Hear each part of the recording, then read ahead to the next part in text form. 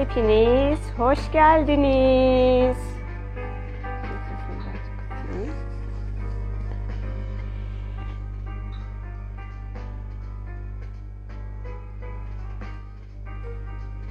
Merhabalar diyorum. Sesimde bir sorun var mı? Sesle ilgili de yorum yaparsanız şunu birazcık daha kısayım. Yayın boyunca da sizler e, çok güzel ve çok güzel ve önemli bir konu seçmişsiniz. Şimdiden şifa olsunuz diyorsunuz. Teşekkür ediyorum. Ses de iyi geliyormuş. Çok teşekkürler. Şimdi e, ben size önce birkaç tane yazı okuyacağım.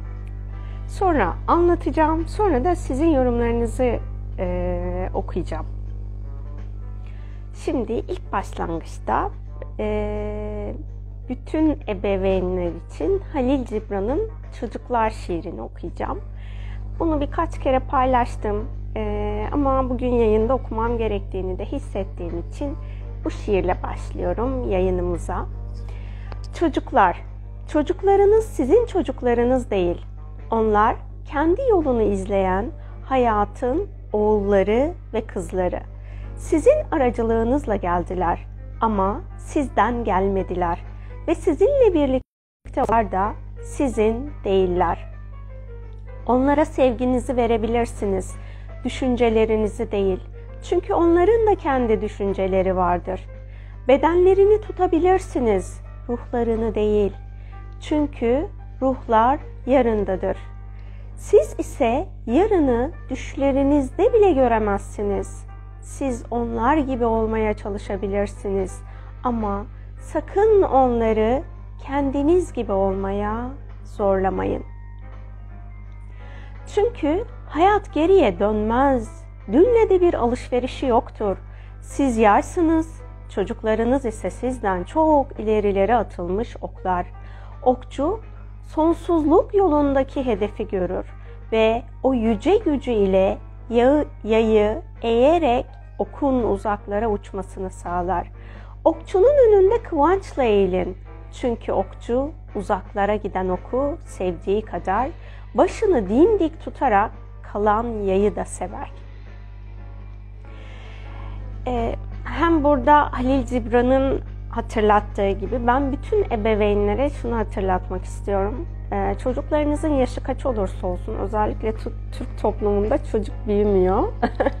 Onların büyümesine ve birey olmasına lütfen izin verin. Siz onların birey olmasına izin veremezseniz onlar da sizinle biraz daha böyle çatışmalı ve tartışmalı bir iletişim haline geçecekler. Ama her şeyin özünde sevgi olduğunda bu aslında e, her şeyi değiştirip dönüştürecek bir alan olmuş olacak. Şunu sesini birazcık daha kısayım. Ee, dünyada hangi yoldan ilerliyorsanız kendinizi ruhsal olarak geliştirmek için bu spiritüel öğretilerde olabilir, dini öğretilerde olabilir. Hangi yoldan ilerliyorsanız ilerleyin. Hepsinin temelinde aslında sevgi var. O yüzden biz aile ilişkilerimizi sevgi boyutuna geçiremediğimiz sürece aslında sürecimizi çok da ilerletemiyoruz. Ee, ben bu yayını şunun için yaptım. Hani aslında paylaşımda, postta neden yaptığımı kısaca böyle özetledim. Ben e, hani elbette ki bir şeyleri konuşacağız. Elbette ki dönüşüm için birbirimize konuları ifade edeceğiz. Ama işin içinde dönüşüm değil de sadece şikayet etmek e, amacı olduğunda ya da işte yazdığım gibi haklı ya da haksız çıkmak oyunu olduğu zaman o zaman ne yaparsanız yapın ya da kime giderseniz gidin bu alanı şifalandıramazsınız. Çünkü amacınız kendinizi haklı çıkarmaktır. Haklılık ya da haksızlık diye bir durum söz konusu değil aslında. Bu yayında hem bu zamana kadar bildiğim ya da bende açığa çıkan ruhsal öğretiler doğrultusunda hem de bildiğim dini öğretilerdeki e, hikayeleri yani hikayeleri değil de e, kısaları size aktaracağım ki sizin yolunuz hangisi ise o yolunuza göre kendinize hedef belirleyin. bir başka yazımız daha var. Bu küçük ruh hikayesini lütfen her bir aile bireyinizin e, dost ruh olduğunun bilinciyle dinleyin olur mu? Hepimiz küçük ruhlarız ve burada e, ailemizdeki her bir birey de bu hikayede okuyacağım dost ruh.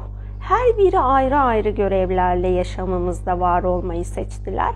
Tabii biz de onlar için, onlar küçük ruh, biz de onların hayatındaki dost ruhuz. O yüzden lütfen bu bilinçle okuyacağım hikayeyi tekrar dinle, e, yani bu bakış açısıyla dinleyin. Belki okumuşsunuzdur, belki daha önce dinlemişsinizdir. E, ben de bunu çok anlatırım zaten küçük ruhun hikayesi diye. Bildiğim kadarıyla ben bunu internetten okumuştum ama e, Tanrı'yla sohbet e, kitaplarının birinci cildinde olan bir hikaye diye bir yorum gelmişti. E, hani kitabın e, yazının kaynağı da orasıymış. Onun da hani bilgisini iletmiş olayım sizlere. Şimdi yazıyı okuyorum. Dediğim gibi bizler küçük ruhuz. E, ailemizdeki her bir bireyde dost ruh. Bu bilinçle dinleyin lütfen bu okuyacağım yazıyı. Günün birinde küçük, küçük ruh heyecan içinde Tanrı'ya gider ve ona ben kim olduğumu biliyorum der. Tanrı peki sen kimsin der. Küçük ruh ben ışığım der ve Tanrı doğru sen ışıksın der. Ruh bir an düşünür ve sonra ama ben ışık olmak istiyorum der. Tanrı ama sen ışıksın der. Ruh ışık olduğumu biliyorum ama ışık olmak istiyorum. Işık olmayı kendim deneyimlemek istiyorum. Kendi deneyimlerimle bilmek istiyorum der. Tanrı, oh anladım. Sen hali hazırda olduğun şeyi deneyimlemek istiyorsun der. Küçük ruh, evet istediğim budur. Kendimi ışık olarak deneyimlemek istiyorum. Sadece bilmek yetmiyor. Işık olmayı yaşamak istiyorum der. Tanrı der ki, bunu anlayabiliyorum. Ancak bu çok zor bir iş. Çünkü yarattığım ışıktan başka bir şey yok ortada ve senin ışığın güneşin içindeki bir mum gibi. Sen orada milyarlarca ve milyarlarca başka mumların arasındasın. Ve hepiniz birlikte güneşi oluşturuyorsunuz. Bu mumlardan bir tanesi dahi olmasa güneş de olmaz. Işıkların arasında ışığını fark etmek istiyorsun ki bu da oldukça karışık, karışık bir bilmece. İyi ama sen tanrısın, bir çözüm bulursun der küçük ruh. Düşündüm ve buldum der tanrı. Kendini ışıkların içinde bir ışık olarak fark etmen imkansız olduğuna göre, seni senin olmadığın bir şeyle kuşatacağız. Birlikte senin olmadığın bir şeyi hayal edip seni onunla saracağız ve bunun adını karanlık koyacağız. Seni bu karanlıkla saracağız. Senin seni senin tam zıttın olan bir şeyle sararak senin ne kadar parlak bir ışık olduğunu deneyimlemeni sağlayacağız. Küçük ruh, tamam ben karanlığı getirmeye razıyım. Böylece ışık olabileceğim dedi. Tanrı, bu senin bunu senin için istedim. Seni karanlıkla kuşatacağım ama kendini karanlıkla kuşatılmış bulduğun an yumruğu kaldırıp göklere küfretme. Sadece karanlığı aydınlatan bir ışık ol ki gerçekten ışık olduğunu bilebilesin.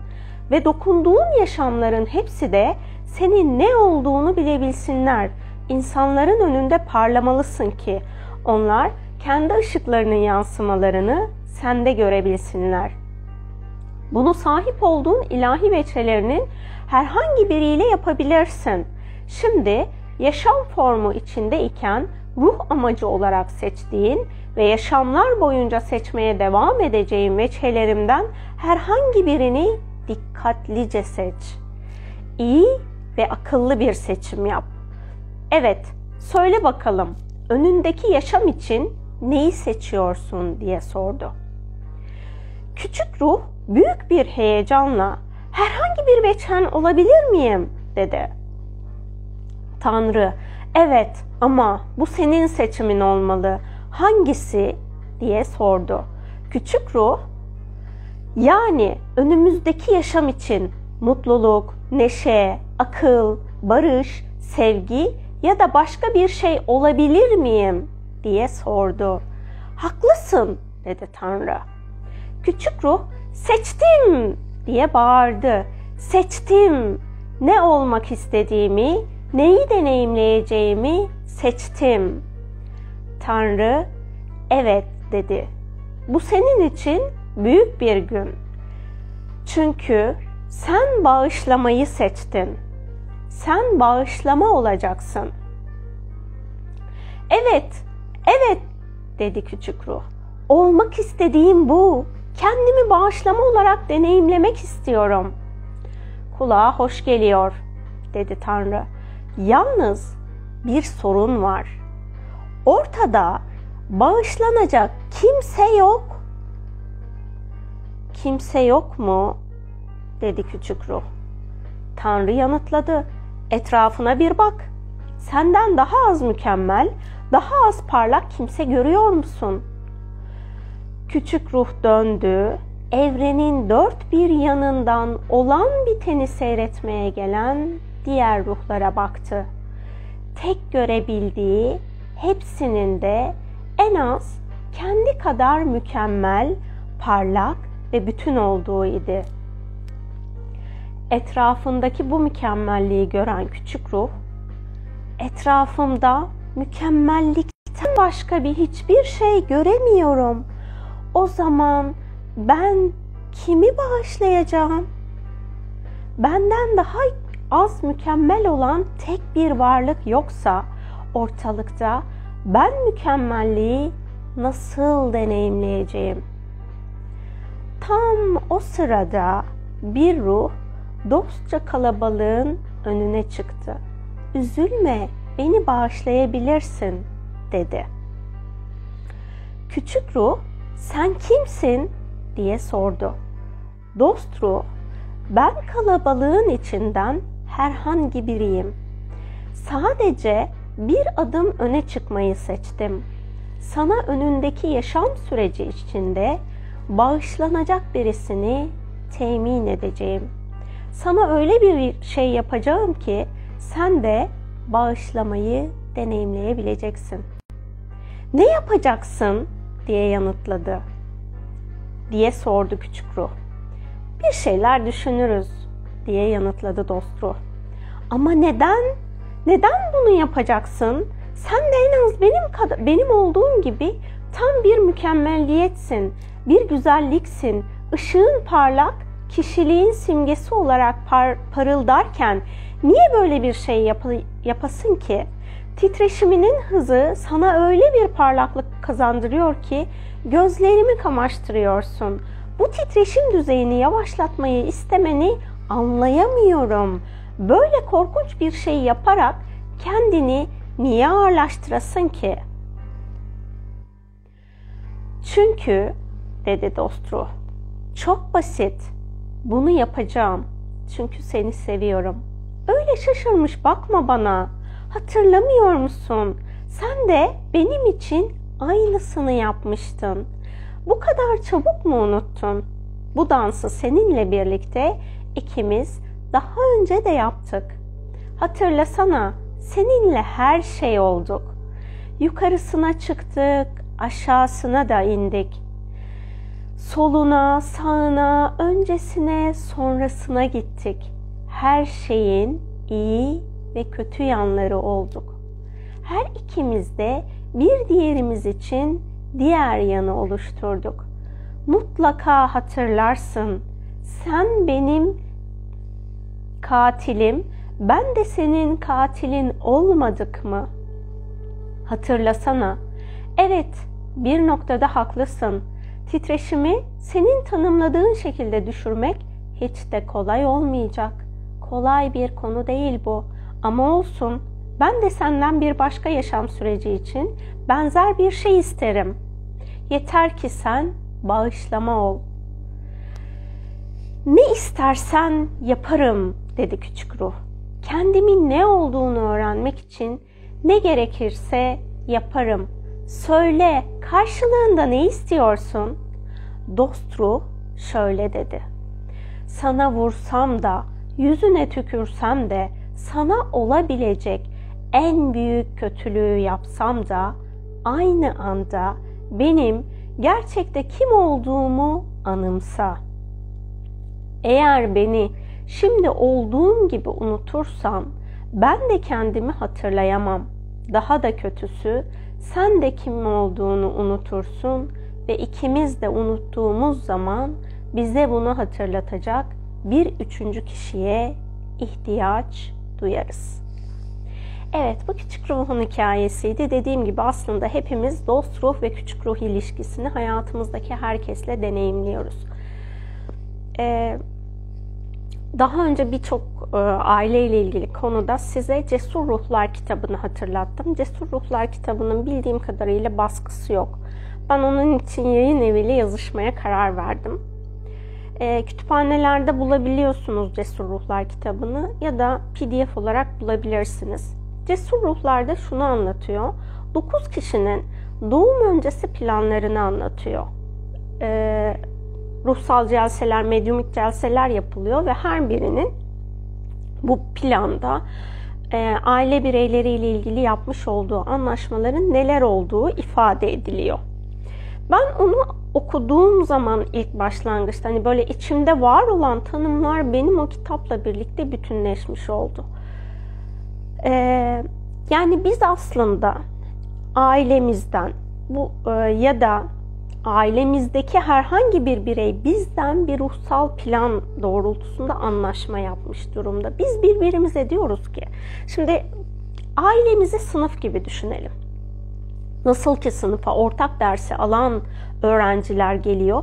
Biz de doğduğumuz aileye ya da eğer bazıları hani anne anne baba e, çocuğu doğursa bile kendi e, biyolojik ailesiyle büyüyemiyor. Çeşitli sebeplerle e, başka ailelerde büyüyebiliyor. Çocuk esirgeme kurumunda büyüyebiliyor.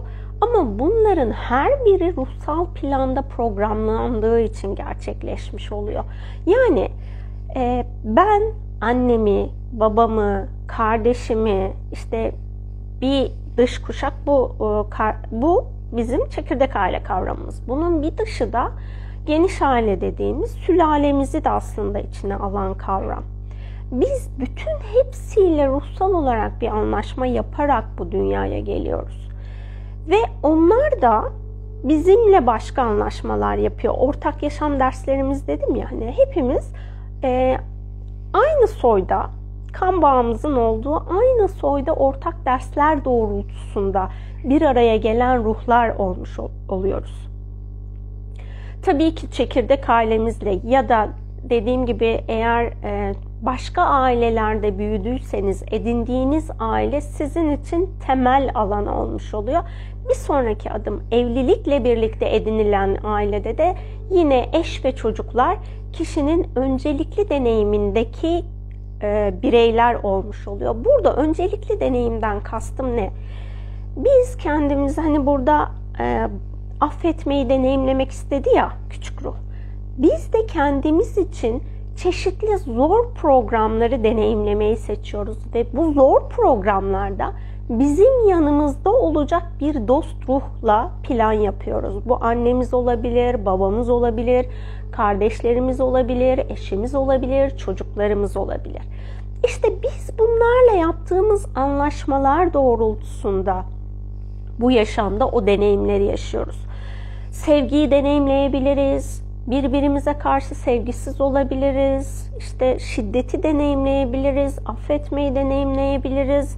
Tacizi deneyimleyebiliriz. Tecavüzü deneyimleyebiliriz. Ee, dediğim gibi herhangi bir şeyi pozitif ya da negatif herhangi bir şeyi deneyimleyebiliriz. Bu deneyimler bizim ruhsal planda yapmış olduğumuz anlaşmalar doğrultusunda oluyor. Tabii ki şu an yapmış olduğumuz ruhsal anlaşmalarda ikinci bir alan daha var. İnsan olduğumuz için özgür irade alanımız. Biz ve dünyada yaşayan bütün insanlar özgür iradeleriyle çeşitli seçimler yapabiliyorlar.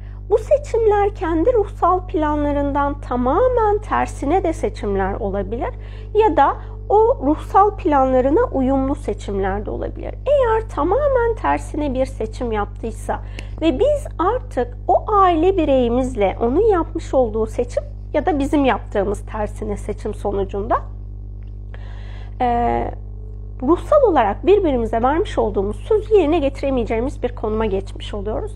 Burada şunu talep edebiliriz ama bu talebimiz illaki yerine gelecek diye bir durum söz konusu değil. İlahi olarak uygunsa bu tanı bu talebimiz karşılanır. Ee, ben işte aile bireyinizden herhangi biri kimle zorluk yaşıyorsanız bu aile bireyimle yaşamış ol, yapmış olduğum ruhsal planımdaki sorumluluğu yüzde yüz alıyorum. Kendi yapmam gereken her ne varsa bunu algılamayı seçiyorum niyeti ilk yapacağınız niyet. Ondan sonra gerçekten o kişiyle yapmanız gereken her şeyi tamamlamış mısınız kendi içinizde? Onu gözlemleyin. Hani böyle birkaç gün içerisinde gözlemlenecek bir durum değil. Hani böyle bir en az bir ay kendinize ve karşı tarafa süre verin ve bu süreci gözlemleyin. Ondan sonra gerçekten her şeyi tamamladığınıza inanıyorsanız ondan sonra şunu talep edebilirsiniz. Yüce Yaratıcı. Ben planımdaki her şeyin sorumluluğunu alıp yapmam gereken her şeyi yapmışım aile aile bireyimin yapmış olduğu seçimden dolayı biz artık bu programda kendi ruhsal kontratımızı yerine getiremiyoruz. Ben ilahi olarak uygunsa bunun sevgiyle iptalini talep ediyorum tarzında bir niyette bulunabilirsiniz. Dediğim gibi bu ilahi olarak uygunsa iptal edilecektir ve süreciniz değişmeye başlayacaktır. Eğer uygun değilse etkileşiminiz, iletişiminiz devam edecektir. Burada bizim yapacağımız tek şey olabildiğince kendimizi sevgi ocağında tutabilmek. Yani karşı tarafın dost ruh olduğunu hep hatırlayacağız. Bize deneyimlemek istediği bir şeyler var. Onun için biz bir buradayız. Onun için bu yolculukta yol alıyoruz. Bunun hep bilincinde olarak arınmamız varsa onu yapacağız. İşte ho'oponopono yapmamız gerekiyorsa onu yapacağız. Dua etmemiz gerekiyorsa dua edeceğiz. Hangi yolsa bizi kolaylaştıracak sürekli kolaylık ve sevgi talep edelim. Yani burada işte o olmuyor, o şunu yapmıyor, bu bunu yapmıyor deyip sürekli şikayet etmek, sürekli birbirimizin dedikodusunu yapmak bir yere ilerletmiyor. Burada eğer sizin yolculuğunuz ruh, spiritüel öğretilerle ilerlemiyorsa, siz daha böyle dini öğretilerle ilerleyebiliyorsanız, o zaman da size benim yayını e, programladığım zaman aklıma gelen peygamberlerin yaşamlarındaki benim bildiğim hikayeleri anlatayım. Hazreti Yusuf 12 ta 11 tane kardeşi var ve Hazreti Yusuf doğduktan sonra babası en çok onu seviyor.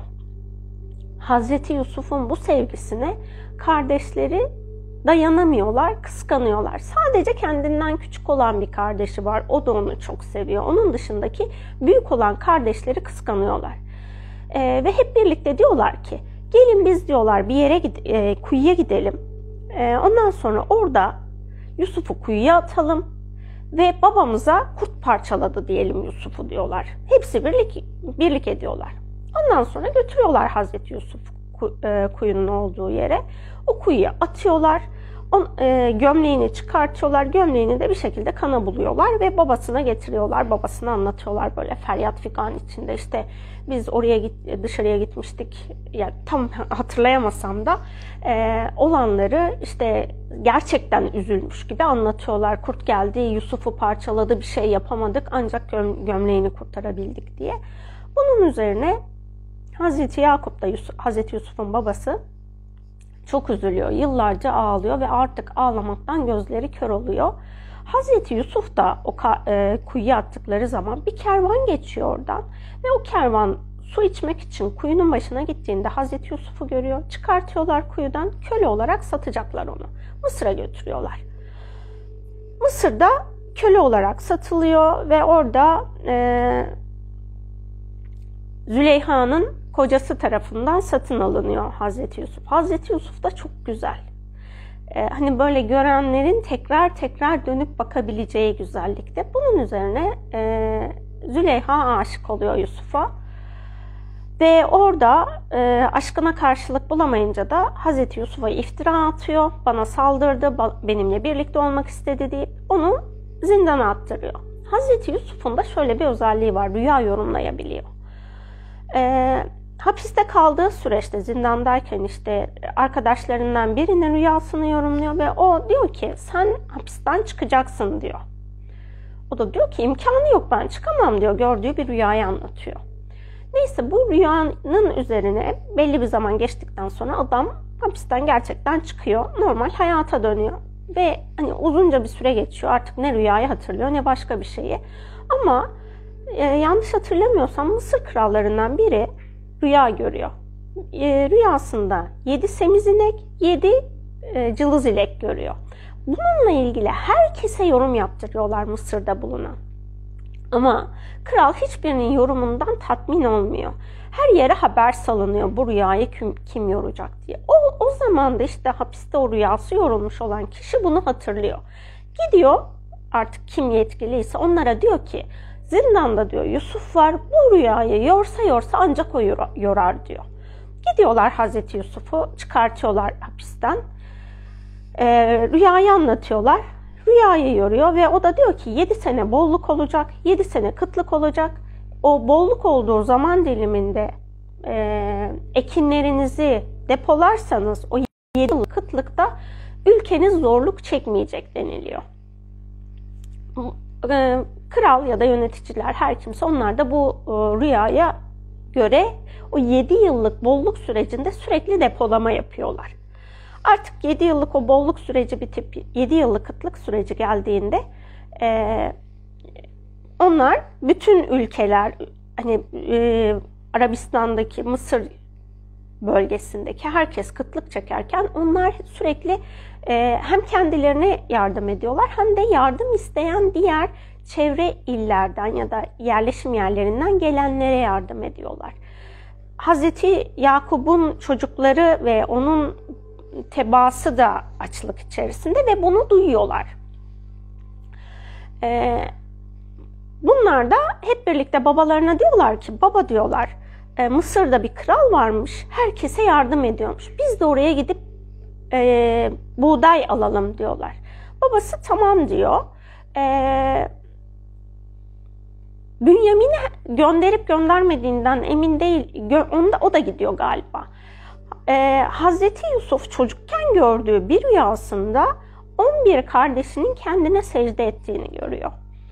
Onu anlamlandıramıyor. Babasını anlatıyor. Babası kardeşlerine bunu söyleme diyor.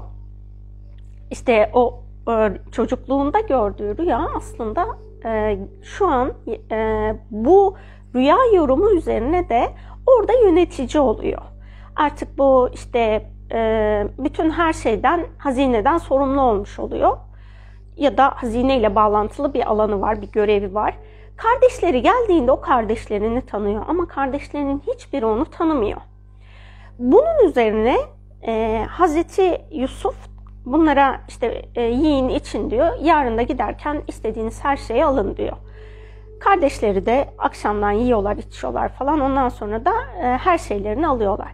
Hazreti Yusuf kardeşlerinin e, çuvalına bir tane e, kase koydurma, koyulmasını istiyor oradaki işçiler tarafından. Onlar da kaseyi koyuyorlar.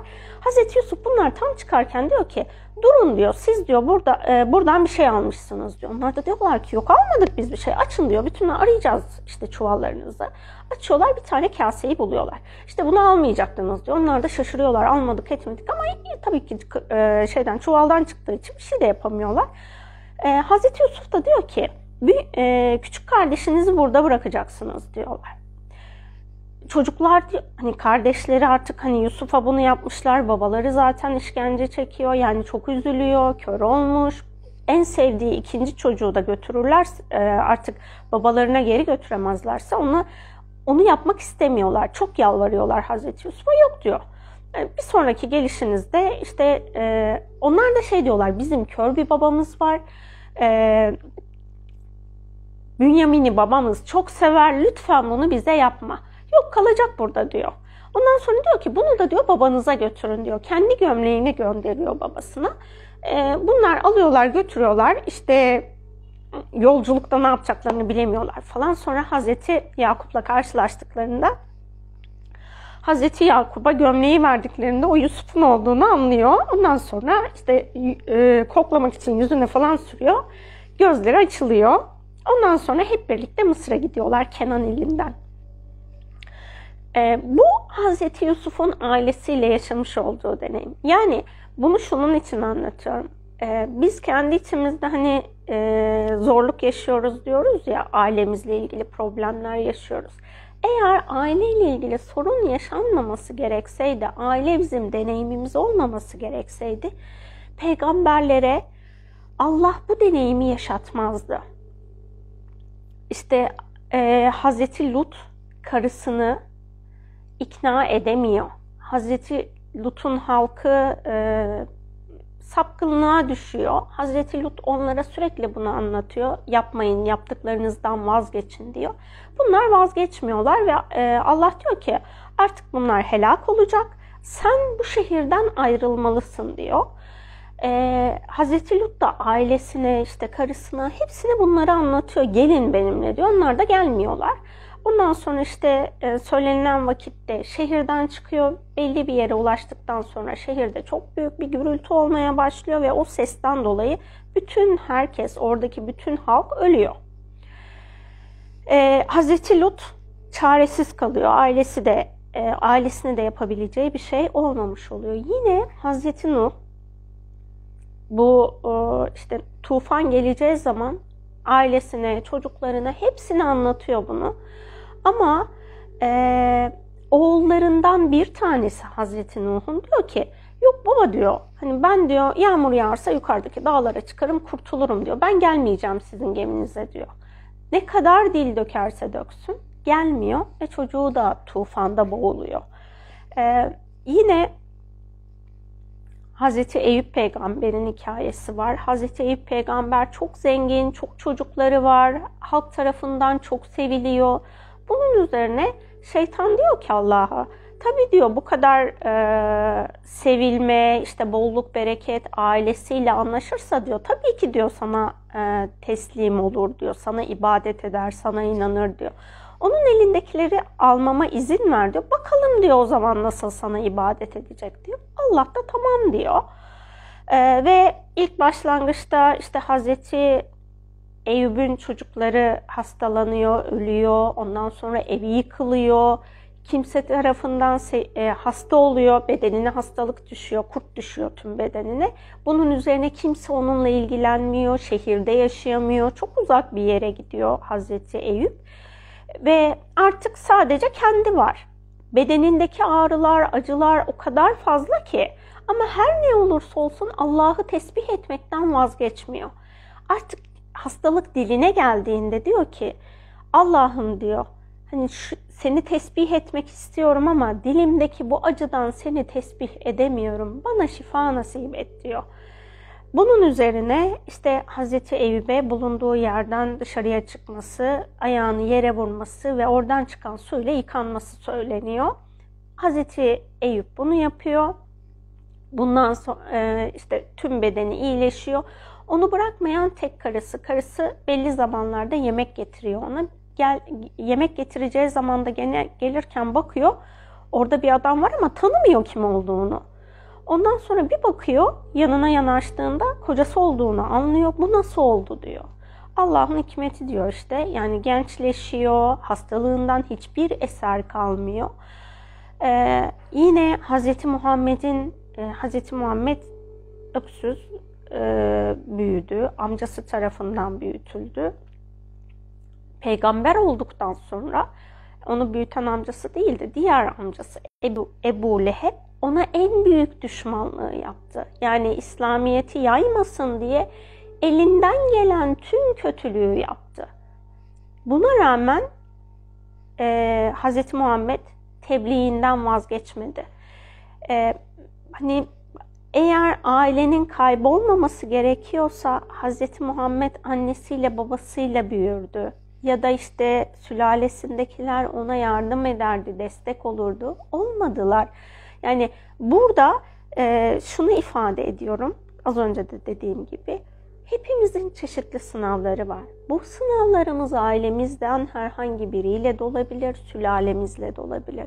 İşte burada e, yolumuz hangisi ise dediğim gibi spiritüellikle ilerliyorsanız orada yapacağınız çalışmaları yapın.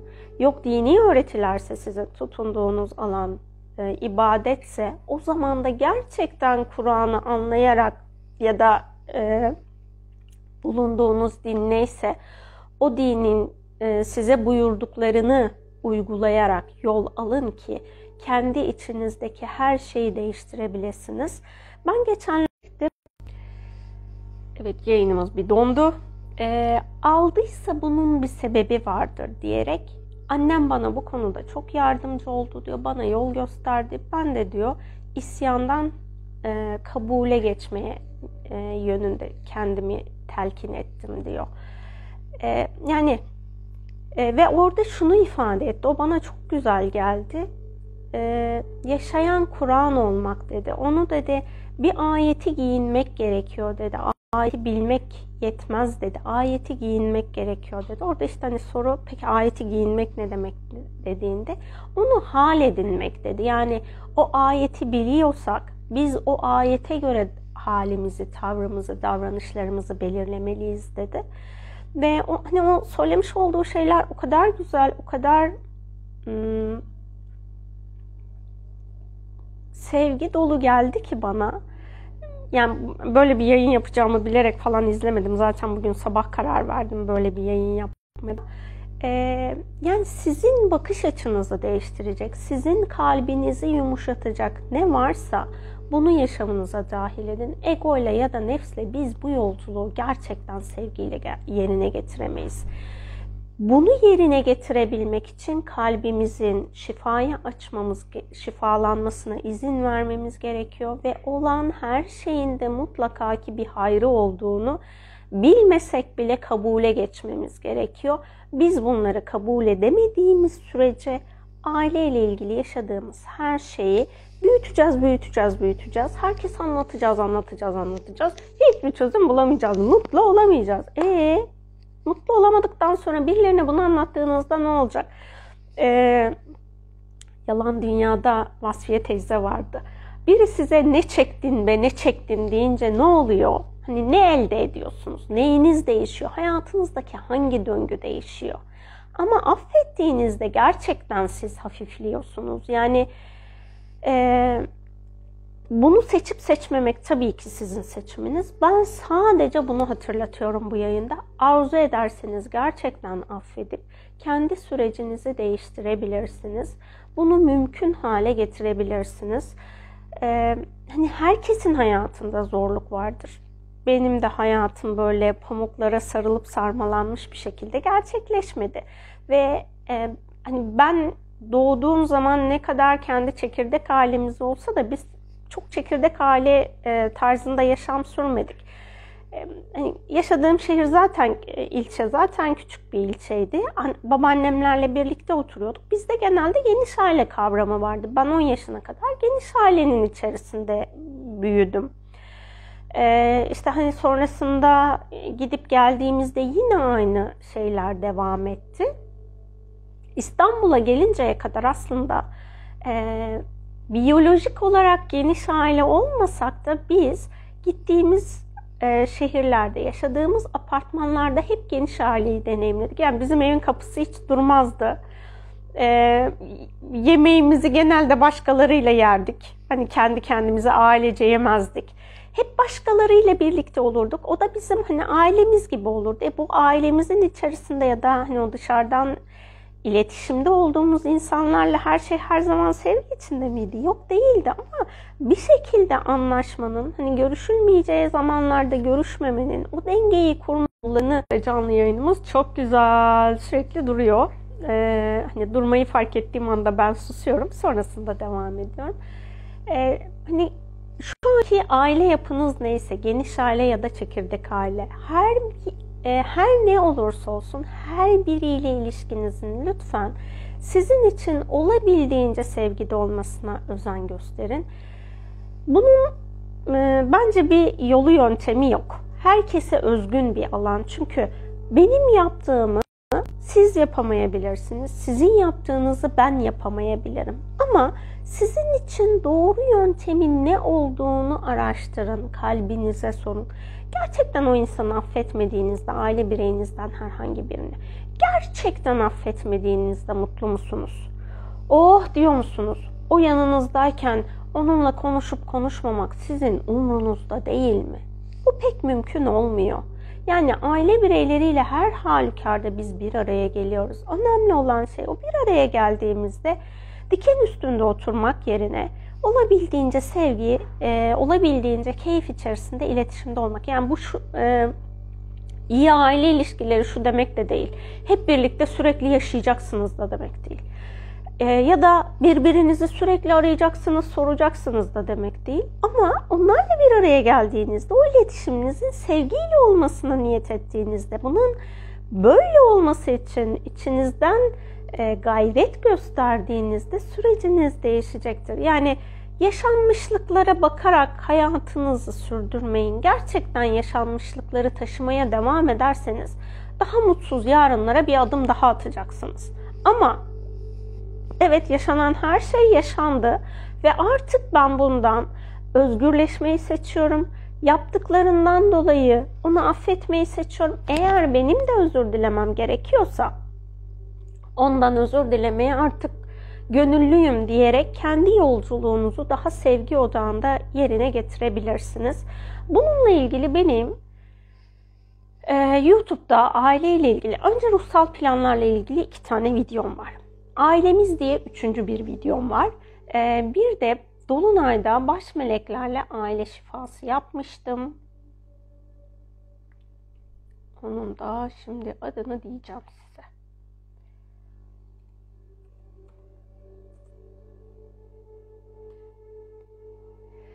Dolunay e, 2018 10 24 diye başlıyor. Dolunay'da baş meleklerle aile şifası meditasyonu. Öncesinde bol bol orada da gevezelik yaptım. Sonrasında meditasyona geçtik. E, daha sonra aydınlık rehberlerle ailesel dönüşüm çalışması var. Bu da yine aile alanını şifalandırmak için. Affetme ile ilgili de 3 tane meditasyonum var. Babayı ve anneyi affetme, başkalarını affetme, kendini affetme. Sizin hayatınızdaki hangi program varsa bu meditasyonları da yapabilirsiniz. Bir de subliminal kayıtlar içerisinde şimdi yayında da onu çalıyorum da hani benim sesimden onu ne kadar duyuyorsunuz bilmiyorum. Subliminal sevgiyle yaşam çalışması ve subliminal ruhsal denge çalışması var. Bu e, kayıtları da dinlerseniz bir de subliminal erdemli insan olma ses kaydı var. Bu üç kaydı dinlerseniz hani e, genel itibariyle orada olumlamaları duymuyorsunuz. Eğer duymak isterseniz açıklamalar kısmında bu üçünün e, olumlama ses kaydı da var. Bir yerden okumadığım için yazıyı paylaşamıyorum. Ses kaydı yaptığım için kaydı oraya yükledim. Oradan ses kaydını da dinleyebilirsiniz ama hem böyle müzik, e, e, sadece müzik olarak dinliyorsunuz, duyuyorsunuz. İşinizi, gücünüzü yaparken, yolda yürürken her halükarda bu üç e, müziği e, subliminal kaydı dinleyebilirsiniz. Bunlar da sizin alanınızı şifalandıracak e, ve bilinçaltınızda dönüşmesi gereken alanların dönüşümüne aracılık edecek çalışmalar. Aile ilişkilerinizle ilgili olarak konuşmanın başında da ifade etmiştim sizden başka hiç kimse bu konuyu şifalandıramaz.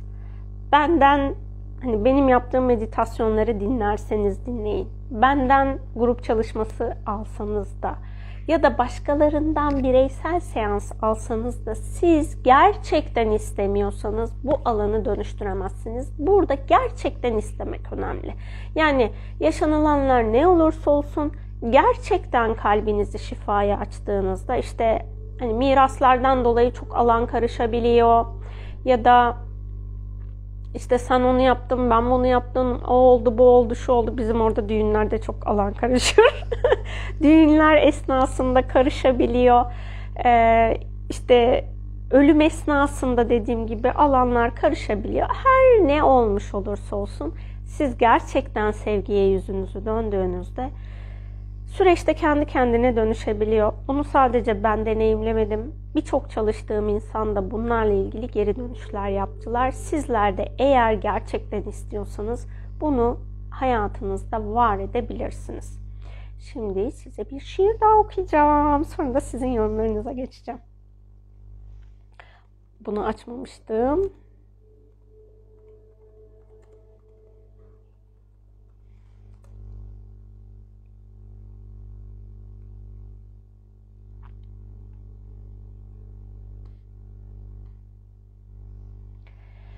Yine Halil Cibran'ın şiiri. Bu da evlilik.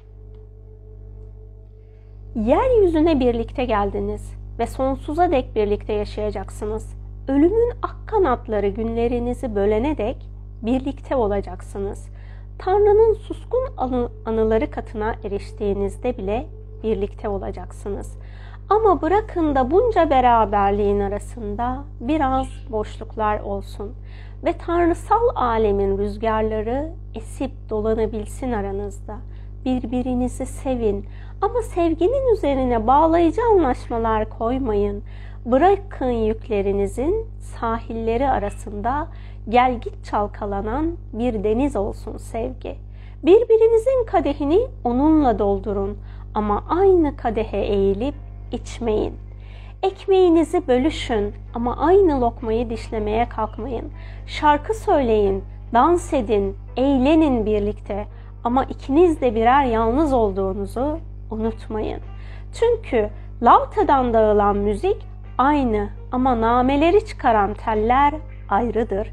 Yüreklerinizi birbirine bağlayın ama biri ötekinin saklayıcısı olmasın.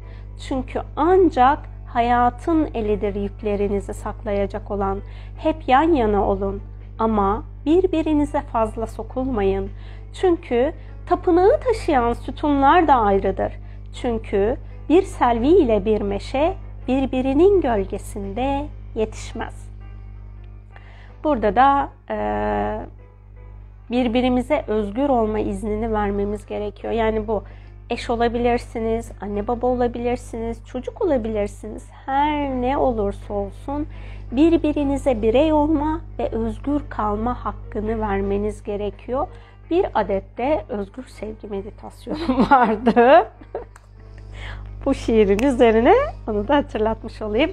Baş melek Raguel'le özgür sevgi meditasyonu.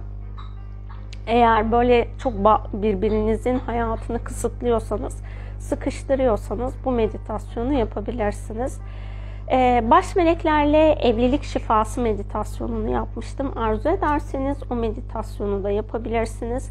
Evli değilseniz bile anne babanız, babanızın pardon anne babanızın evlilik alanındaki şifalanması gereken alanların şifası niyetiyle o meditasyonu dinleyebilirsiniz. Çünkü e, bu da sizi bağlayan bir enerji alanı olmuş oluyor.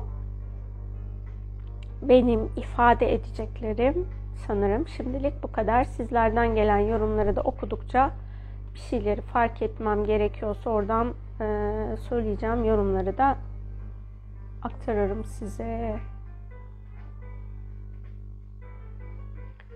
Yayın için teşekkür etmişsiniz. Ben de size teşekkür ediyorum. Hepinize. Hmm.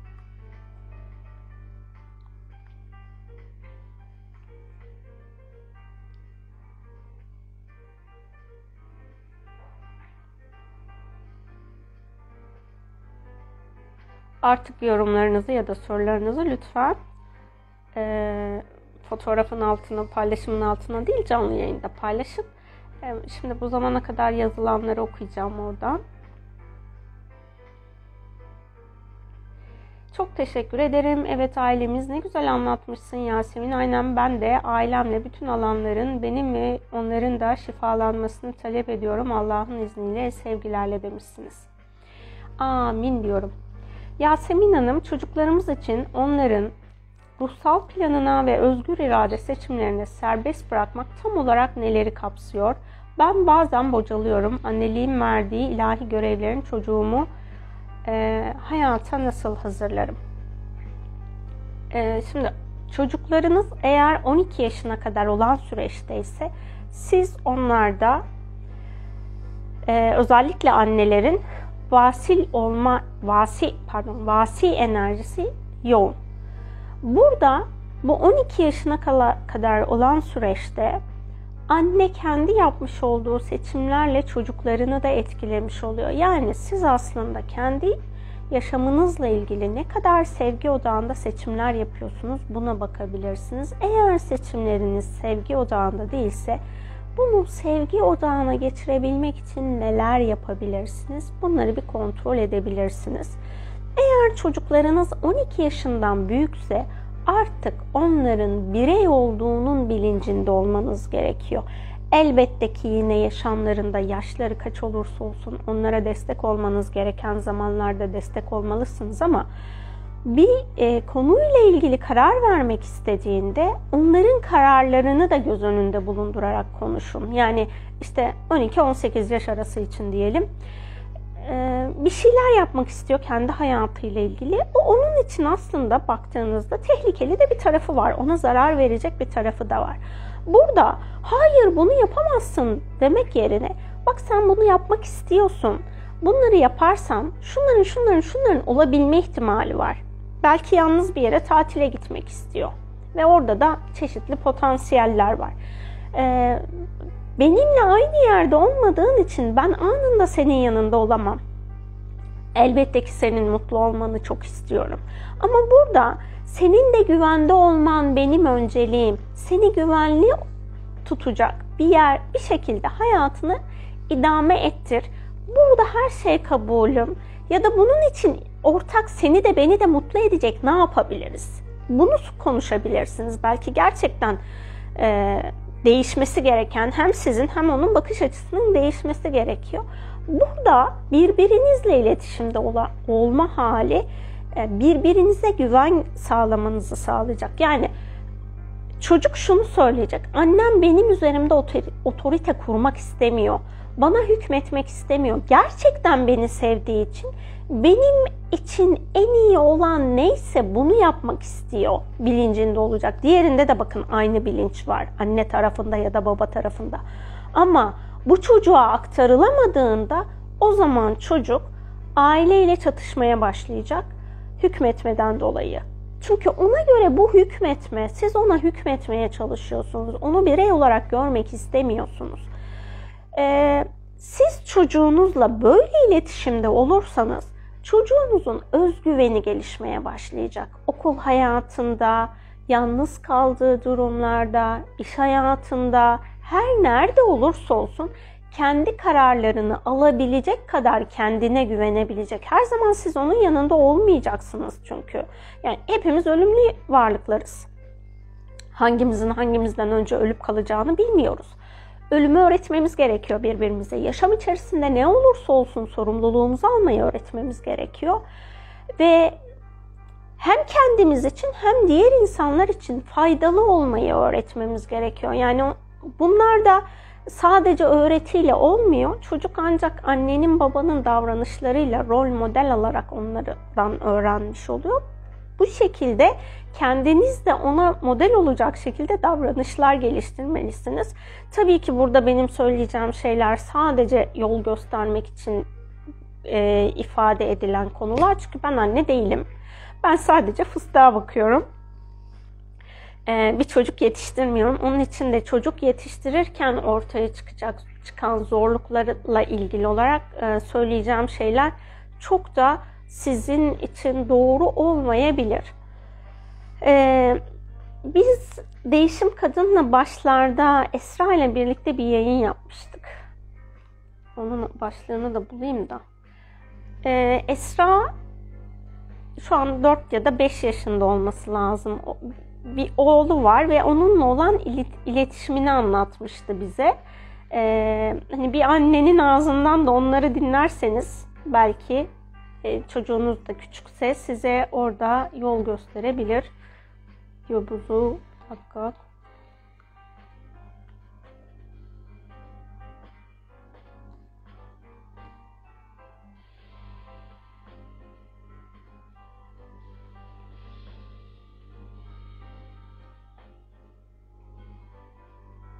Biz bu değişim kadınla başlar videolarının hepsinde amacımız kadının kendini değiştirmesi ve bunun üzerine hem kendisini hem ailesini daha mutlu nasıl hale getirebilir? Bunlarla ilgili e, herkes kendi deneyimini paylaşmış oldu.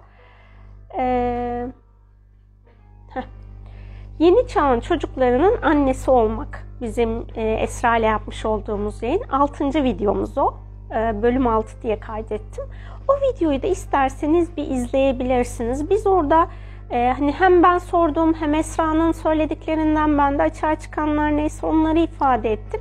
Elimizden geldiğince biz orada size e, hani bir şeyler ifade etmeye çalıştık. Dediğim gibi aile ilişkileri her birimiz için özel alan. Birilerinin bir şeyler söylüyor olması bunu çok da kolaylaştıracak bir durum değil.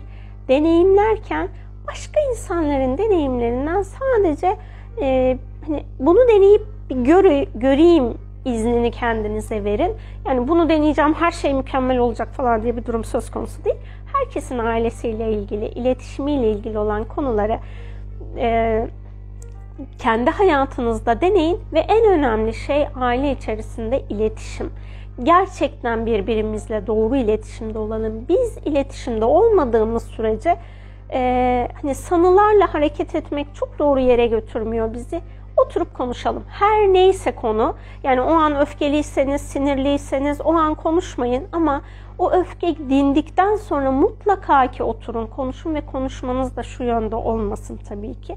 Sen şunu yaptın, sen bunu yaptın değil. Bak biz bu konuyu hani ikimiz birlikte bu tartışma ortamını yarattık. Burada senin ve benim değiştirmemiz gerekenler neler? Benim yaptığım ne seni gıcık ediyor? Yani bu soruyu sor. Neyden hoşlanmıyorsun? Neyi sevmiyorsun? Niye sana hani batıyor yaptıklarım? Bunları bir sorun. Bunun üzerine sohbet edin ve orada gerçekten amacınız şifa olsun. Hatta sohbet ederken de şuna niyet edebilirsiniz. Sevgili melekler şu an bizimle olun ve lütfen bu sohbet esnasında birbirimizi doğru anlayıp doğru şifaya aracı, e, doğru şifayı var edebilmek için bize yardım edin. Bu niyeti yaparsanız da gerçekten orada konuşacaklarınızın şifalanması gerekenler şifalanacaktır. Hani tartışacaksanız yine tartışın ama lütfen iletişimin önünü kapatmayın. Birbirinizle iletişimde olun. Evet. Başka bir yorumumuza geçiyorum. Ailemle izleme kararı aldık. Hep birlikte çekirdek alemi ve sülalemi ve insan alemin şifalanmasına niyet ediyorum demişsiniz. Amin diyorum ben de. Ailemle tüm akrabalarım, atalarımın, insanlık alemimiz e, şifalanmasına niyet ediyorum. Akşam saati mü, müsait olamayacağım. E, sonra dinleyebilir miyim diye sorulmuş. Evet dinleyebilirsiniz. Sizinle yaklaşık şurada iki buçuk senedir çalışıyoruz. Gerek bireysel uyumlamalar, gerekse ücretli gruplar ve kolektife açık meditasyonlar Tüm bunlar için ve şifalandırdığımız başta aile ve ruhsal aile bireyleri için kalben teşekkür ediyorum. Bu geceki yayında kalmış olan tortuların da en yüce hayrımıza şifalanmasını niyet ediyorum demişsiniz. Amin diyorum.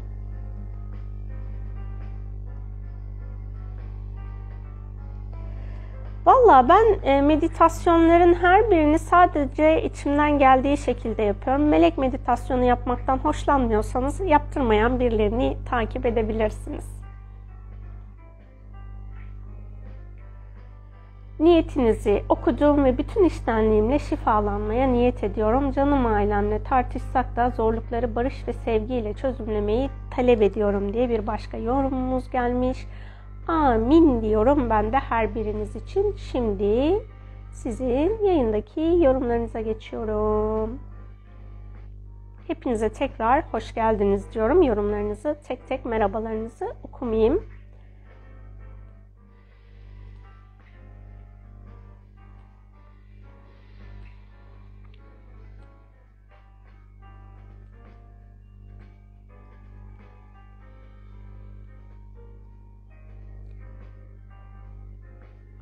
Uzun süredir şifalanmalarda ağlamamıştım. Çok duygulandım. Teşekkür ederim demişsiniz. Rica ediyorum. Ee, nasıl sevgiyle özgürleşebiliriz? Evlilik, anne, babayla aynı evi paylaşmak da bu planlar arasında mı? Ben birçok deney e, birçok deneyimliyorum babamla her şey negatif. Yani her şey planın içerisinde yaşadığımız ya bakın doğduğumuz yer, doğduğumuz koşullar, doğduğumuz ülke, annemiz, babamız, yaşadığımız ülke, e, yani eğer göç etmek zorunda kaldıysak yaşadığımız ülke her şey bizim bu ruhsal planımızın bir parçası.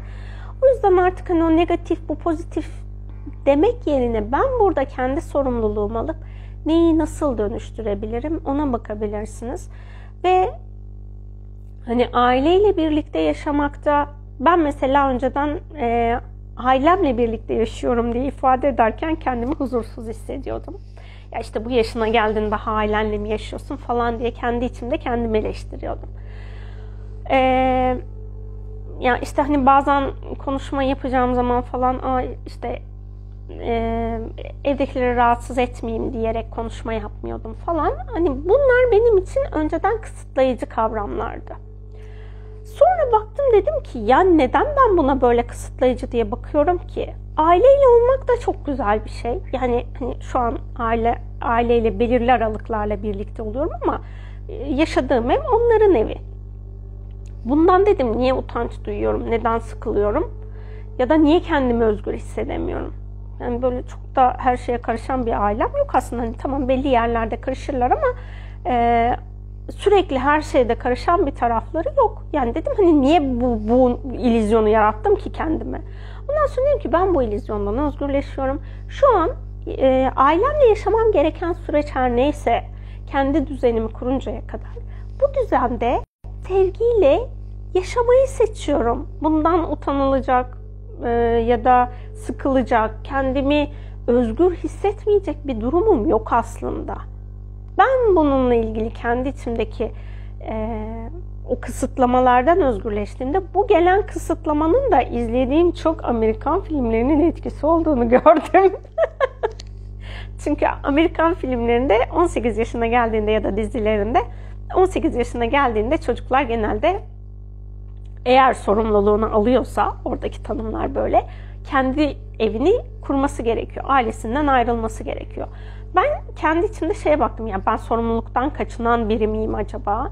Hani, e, bunu fark ettikten sonra yo sorumluluktan da kaçınmıyorum. Gerçekten ayrılmam gerekiyorsa ayrılmam ayrılırım zaten. Ama burada eğer zorunlu değilsem niye e, kendimi modern topluma uyduracağım diye ailemden ayrı yaşamak zorunda bırakıyorum ki dedim kendime. Ondan sonra böyle daha kendi içimde rahatlamaya başladım. Siz de kendi içinizde ailenizle birlikte yaşadığınız için kendinize koyduğunuz tanımlar neler? Bu tanımlar gerçek mi? Bunlara bakın. Eğer gerçekse bunların şifalanması ile ilgili e, muhtemelen aile alanı ile ilgili ben %80 meditasyonların hepsini yaptım. O yüzden meditasyonları yeniden bir gözden geçirin YouTube kanalını. Ya da ben de e, orada aile şifası diye oynatma listesi oluşturmadıysam ona bir oynatma listesi oluşturayım. Çünkü ben gerçekten çok böyle hani aileyle ilgili olumsuz yorumlar geldiğinde çok üzülüyorum. Yani anneler babalar çocukları için elinden geleni yapıyor. Hani ben de anneme babama bazen of ya falan diyorum. Hani daha 40, 40 yaşını geçtim artık yeter. Hani bu kadar beni düşünmeyin dediğim zamanlar oluyor ama onlar da bunu sevgilerinden yapıyorlar. Ee, bunu anlayıp onlarla iletişimimizi daha farklılaştırdığımızda gerçekten bu alan bizim için e, şifalandırıcı oluyor. Aileye de bağımlı olmayın. Bu da olumlu bir şey değil. Yani annenize babanıza sürekli olarak bağımlı da yaşamayın ama e, onlarla birlikte sevgi odağında yaşarsanız o bağımlılık sadece bağlılığa dönüşür, aile bağlılığına dönüşür ve aile bağlılığı da bizi e, tamamlayan bir alan aslında. Şimdi ailede şöyle bir de durum var. Ben birebir deneyimlemeden aynı konuyu aile bireylerimdeki deneyimden dolayı ben deneyim de kazanabiliyorum. Bu ya da sülalemdekilerden biri bu konuyu deneyimlediğinde. Yani bu aslında aile olmanın güzel tarafı. İlla ki her şeyi bu yaşamda öğrenmek, deneyimlemek, birebir deneyimlemek zorunda değiliz. aile bireylerimizden biri bunu deneyimliyorsa biz bu deneyimle birlikte öğretiyi hayatımıza dahil edebiliriz. Ee, hani negatif demişsiniz ya belki siz karanlığı negatif öğrenmeyi, öğrenmeyi planladınız bu yaşamınızda. Ama burada sizin bunu birebir deneyimlemeniz yerine babanız kendi deneyiminden size alan açtı ve orada sizi şifalandırıyor ya da size öğretiyordu. Negatif negatif tekamül yolunu, karanlık tekamül yolunu her neyse sizin için o tanımladığınız durum. Yani burada bir şeylere tek taraflı bakmayalım. Onların öğretisi bize başka bir öğreti de getiriyor. Bizim öğretimiz de tabii ki onlara da öğreti getiriyor ama sen bunu öğreneceksin diye onları zorlayamayız. Bizim yapacağımız tek şey onların deneyim ve öğretilerinden bizim öğrenebileceklerimiz varsa bunları hayatımıza dahil etmek.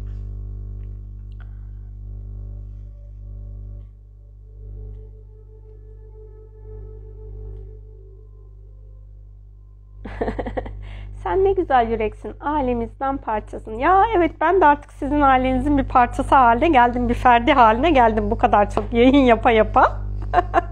Ailenize beni de misafir ettiğiniz için, fert olarak kabul ettiğiniz için hepinize teşekkür ediyorum. E, Duha suresi bana çok dokunmuştur. Rabbin sana veda etmedi ve darılmadı. Şüphesiz ki senin için sonu önünden daha hayırlı. Rabbin sana verecek, öyle verecek ki hoşnut olacaksın diye devam ediyor. Affetmek diye bir e, affetmek ne kadar önemli e, diye gelmiş. E, paylaştığınız için ben de çok teşekkür ediyorum. İşte hani hepimizin hayatına güzel güzel dokunuşlar var. Yeter ki bunun farkında olalım ve onu e, ceza diye görmeyelim. Şu an yaşadıklarımızı gerçekten zorlu deneyimler yaşıyor da olabilirsiniz.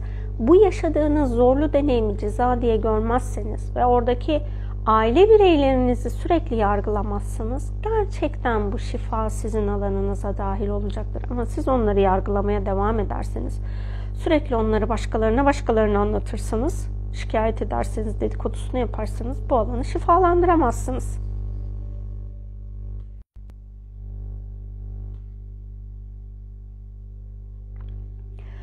Ee, Annem ve babamın yaşam alanlarının şifalanmasına niyet ediyorum. Annem babama bakacak gücü kalmadı. Kolaylıkla çözüm bulmaya niyet ediyorum. Bence kendimizi güçsüz olarak tanımlamayalım. Eğer gerçekten güçsüzlüğümüz ortaya çıkmış olsaydı Allah bunun için bize kapı, kapıyı açardı. Orada evet zorluklar dediğim gibi olabilir ama bunun kolaylaşmasına niyet edelim ve e, hani ben kendi adımıza söylüyorum. Eğer biz aile bireylerimizden herhangi biriyle ilgili bir zorluk yaşıyorsak orada kendi sevgi alanımızı kontrol edelim. Yani e, işte diyelim eşim benim için zorluk yaratıyor. Ben eşimi gerçekten seviyor muyum? Ona karşı saf sevgi odağında mıyım? Buna bakmam gerekiyor. Eğer orada saf sevgi olmayan bir durum varsa tabii ki yaşanılan deneyimlerde zorluğu beraberinde getirecektir. Evlilikle ilgili şunu da hatırlatayım size. Daha önceki yayınlarda bunu ya da soru cevaplarda bunu e, paylaşmıştım. Eşlerin birbirine olan aşkı, gerçekten saf aşkı o ilişkide her ne varsa şifalandırabiliyor. Ama eğer o ego ya da nefs dediğimiz alan devreye girer ve yapılanlardan dolayı aşka safsızlık katılırsa o zaman zorluklar eşler için ortaya çıkıyor. Onun için e, eşlerin birbirine ömür boyunca o saf aşkı besleyebildikleri her an o ailede her ne yaşanmış olursa olsun her şey kolaylaşıp kendi kendine şifalanıyor. Ama eğer aşk da yoksa zorluklar ortaya çıkıyor. Benim sorunum da yalnızlığım galiba. Annem, babam ve erkek kardeşim vefat ettiler. Eşimden boşandım. Bir kızım var. Evli, ailevi. Hiç sorunum yok. Ben ne yapmalıyım? Yalnız diye nitelendirmeyin kendiniz. Aslında hiçbirimiz yalnız değiliz. Çünkü o kadar çok ruhsal varlık bizimle, yaratıcı her zaman bizimle ki o fiziksel yalnızlık ilizyonundan kendimizi özgürleştirelim. O zaman her şeyle bir olduğumuzu fark ediyoruz. Ben mesela e, hani bu pandemi süreciyle birlikte annem ve kız kardeşim de dahil birçok aile bireyimle bir yılın üzerinde zamandan beri fiziksel olarak görüşemedim. Ama hiçbirini özlemedim. Çünkü hepsiyle rüyamda görüşüyorum. Onların ya da işte telefonla konuşuyorum. Onların benimle olduğunu hep biliyorum, hissediyorum. Onun için de o dediğim gibi yalnızlık durumu benim için pek mümkün değil aslında. Ve biz bunu e, yalnızlıktan kendimizi özgür bıraktığımızda e, yalnız olmadığımızı fark etmeye başlıyoruz. Yani o fiziksel yalnızlığa odaklanırsak bu bizim hayatımızı büyütüyor ama aslında yalnız olmadığımızın farkına vardığımızda sürekli olarak birileriyle bir şeylerle bir arada olduğumuzu fark etmiş oluyoruz. Siz de eğer böyle fiziksel yalnızlığa çok fazla odaklanmış durumdaysanız e, bunun yerine enerjisel birliği hissetmeye kendinize izin verin.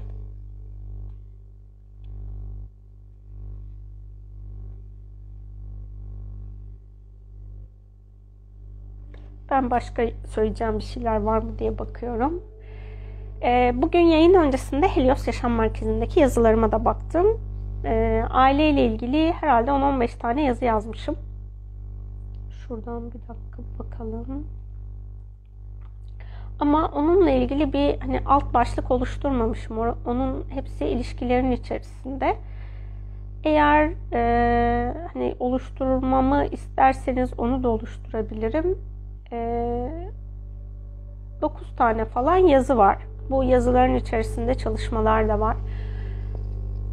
Meditasyonlar da var. Yani e, ben hepsini ilişkiler adı altında topladığım için ayrıca aile diye paylaşmamışım ama eğer sizin için daha kolaylaştırıcı olacaksa bunları aile diye ayrıca e, yeniden başlıklayabilirim. Hem YouTube'daki videoları hem de yazıları ya da hani bunların hepsini içeren bir yazı yazarım. Hepsinin linkini oraya paylaşırım.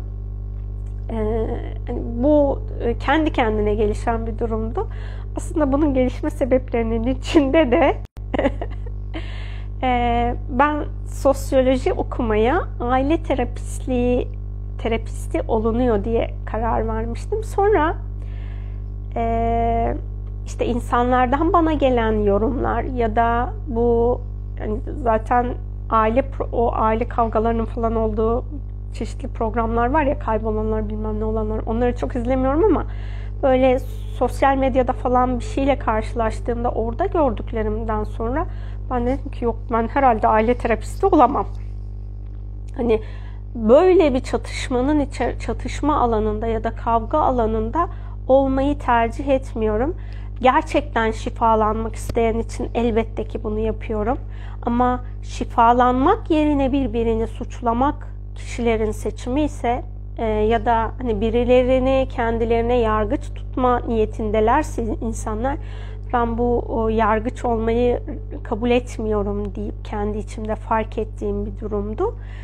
E, yani burada elbette ki her şey dediğim gibi tamamen çözümlenemeyebiliyor ama burada çözüm odaklı mıyız? Şikayet odaklı mıyız? Ona bir bakabiliriz. Bir de size e, Hayat Ruh Sağlıkla Birlikte Yaşamak kanalındaki videonun adını söyleyeyim. Şikayetle ilgiliydi.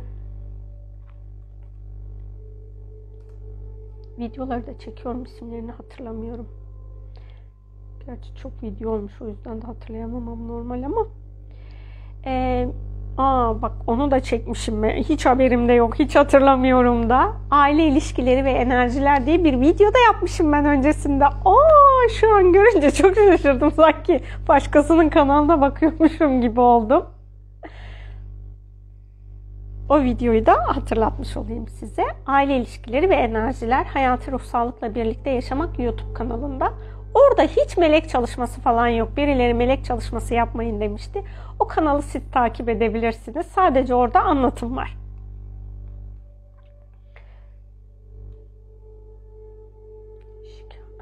Yaşamda şikayet etmenin dönüşümü diye bir videomuz var. O videoda da işte şikayetten kendinizi nasıl özgürleştirebilirsiniz onlarla ilgili paylaşım yaptım.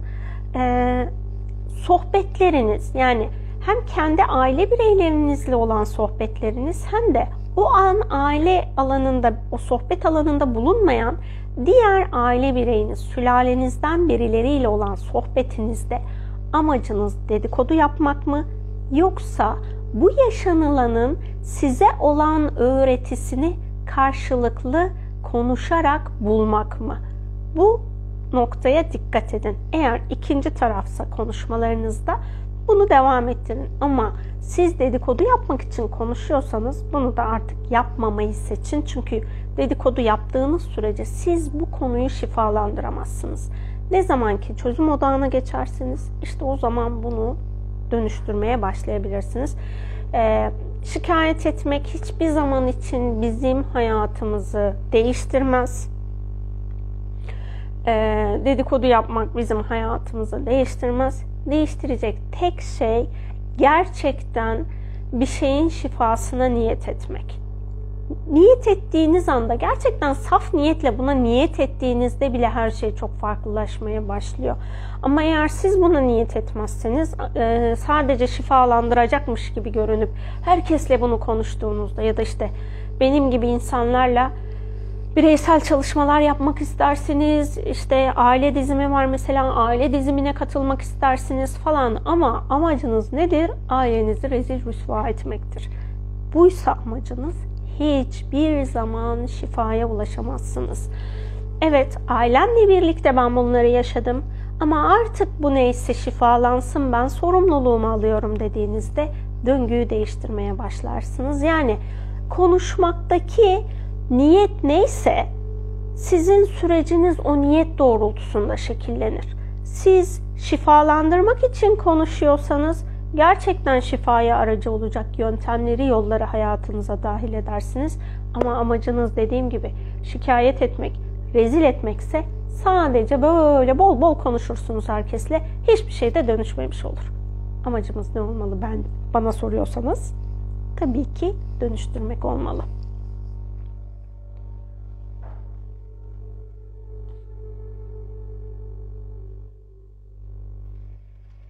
Bir buçuk yıl önce eşimi kaybettim. 38 yıllık can parçaladı. Harika eş, baba oldu çok şükür. Bir türlü kendimizi avutamadık. Ta ki sizin ölümle ilgili anlatımınızdan sonra onlar ışık oldu. Çok sevindim buna.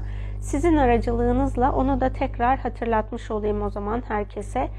Ee, bir yine hayatı ruhsallıkla birlikte yaşamakta ömür ve ölüm döngüsünde enerjiler e, yaz e, videom var. Bir de Baş Melek Azrail ile e, Yasemin Derya Metin kanalında vefat etmiş yakınlarınızla söyleyeceğim.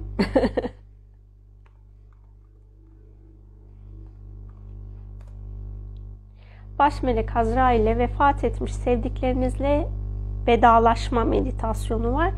E, bu ikisinden eğer sizin de hayatınızda aile bireylerinizden herhangi biri vefat ettiyse ve hala onu e, gittiği yerde huzurlu olması için özgür bırakamıyorsanız, onu ya da kendinizi çeşitli durumlardan dolayı özlüyorsanız ya da pardon suçluyorsanız ya da ona aşırı bir özlemle tutunuyorsanız onun da huzursuz olmasına sebep olacaktır. E, sizin için hangisi uygunsa ya e, hayatı ruhsallıkla birlikte yaşamak kanalındaki ömür ve ölüm döngüsünde enerjiler videosunu izleyin ya da meditasyon yapmak, melek meditasyonlarını yapmak sizin için uygunsa baş melek Azrail ile vefat etmiş sevdiklerinizle vedalaşma meditasyonunu yapın. Hem onlar hem de siz huzura ermiş olun.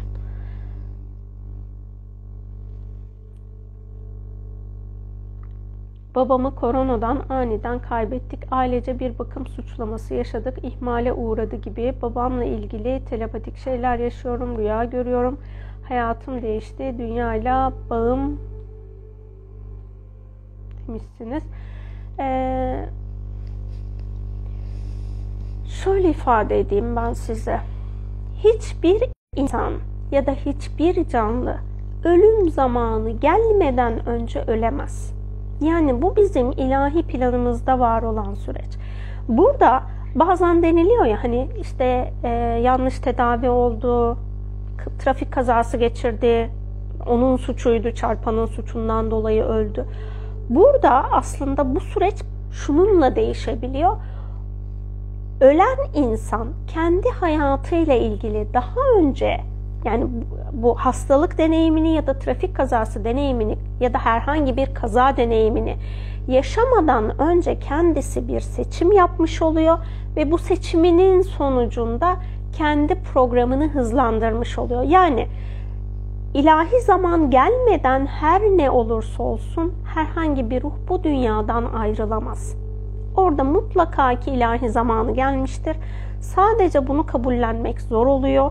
Orada kendi içinizde eğer arzu ederseniz baş melek Cebrail ile inanç ve teslimiyet meditasyonu var.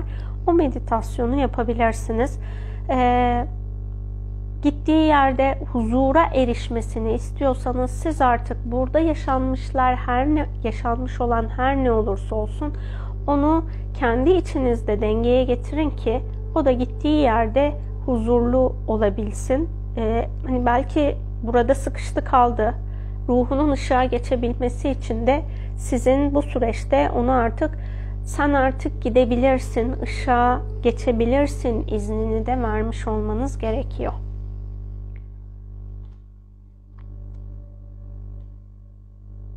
Ben 33 yıllık eşimi bir türlü kendimi ifade edemiyorum. Hep yanlış anlaşılıyorum. Onun için de hep susuyorum.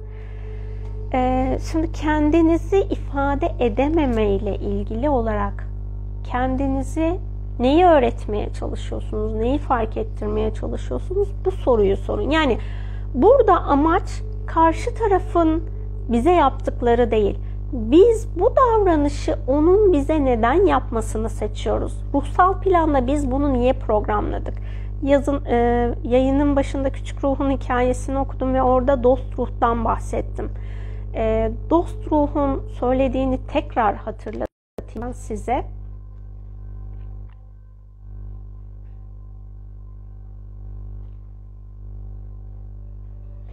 Dost ruh şöyle dedi. Sana vursam da yüzüne tükürsem de, sana olabilecek en büyük kötülüğü yapsam da aynı anda benim gerçekte kim olduğumu anımsa, eğer beni şimdi olduğu gibi unutursan ben de kendimi hatırlayamam, daha da kötüsü sen de kim olduğunu unutursun ve ikimiz de unuttuğumuz zaman bize bunu hatırlatacak bir üçüncüye ihtiyaç duyarız. Siz eşinizden hangi konu için size yoldaş olmasını istediniz? İfade ediyorum anlamıyor diyorsunuz ya. Kendinizi neden ifade edememeyi seçtiniz? Bunun şifalanması için ne yapabilirsiniz? Bunu kendinize sorun. Ee, dediğim gibi bir şeyleri yaşadığımızda karşı tarafın bize yaptıklarından dolayı değil, biz onu neden bize yapmasını istedik? Bunu bulmamız gerekiyor ki biz ondan sonra çözüme ulaşabilelim kendi içimizde. Biz bu çözüme ulaştığımızda karşı taraf değişir ya da değişmez. Bu değil bizim hedef noktamız. O kişi bize bu davranışı yaptığında biz kendimizi huzursuz, mutsuz hissediyorsak, frekansımızı düşürüyorsak demek ki burası bizim için dönüşmesi gereken bir alan. O kişi bize ne söylerse söylesin. Biz gerçekten kendi frekansımızda olabildiğince dengede kalıyorsak biz burada kendi öğretimimizi tamamlamışızdır. Kendinize bunu sorun beni anlamaması ile ilgili ben neyi programladım ve hala burada kendi içimde neyi görmeyi reddediyorum? Bu soruyu kendinize sorabilirsiniz.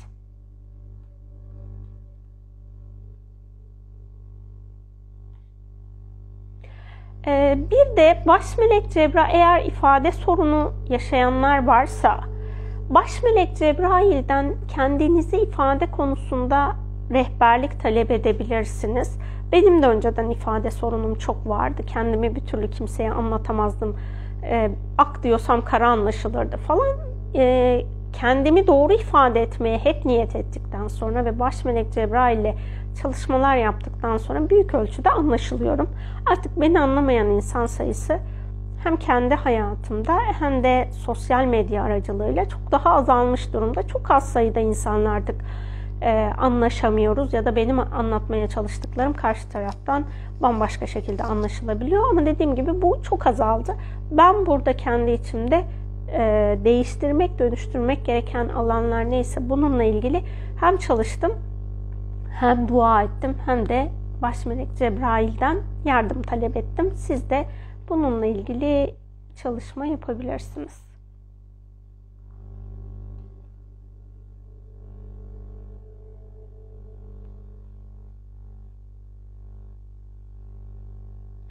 Astroloji ile ilgili olan yorumları ben yapamam. Ee, çünkü ben astroloji haritası yorumlamayı bilmiyorum. Hele sinastriyi hiç bilmiyorum.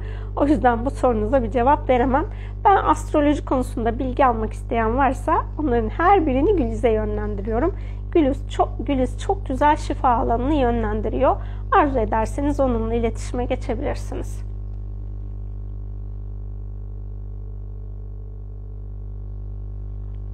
Regresyon yaptırdım ve benim de daha önce tersi bir durum varmış. Sevdiği ve ilgiyi eksikliği şimdi de ben yaşıyorum. Ee, bunun dönüşmesine niyet ederseniz bence yani bir şeyleri tespit ediyor olmak benim için önemli değil. Gerçekten bir şeyleri çözümlemek için kendi yolculuğunuzda çalışmalar alın. Burada o çalışmaları yaşamınıza şifa için dahil ettiğinizde kimin ne olduğu, neyin ne olduğundan ziyade biz burada gerçekten her şeyi sevgiye nasıl dönüştürebiliriz? Hedefiniz bu olsun, amacınız da bu olsun ki aldığınız çalışmalar bir şeyleri tespit etmek için değil, şifalandırmak için yaşamınıza dahil olmuş olsun.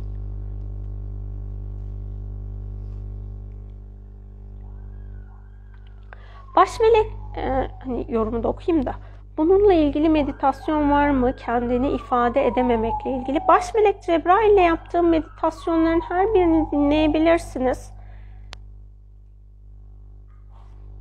Ekstra ne yapmışım bilmiyorum çünkü. Bakalım baş melek Cebrail ile hangi meditasyonları yapmışız? Çok meditasyon yapmışız. Bakın baş melek Cebrail ile. En sonunda dolunay meditasyonunu yapmıştık geçen gün.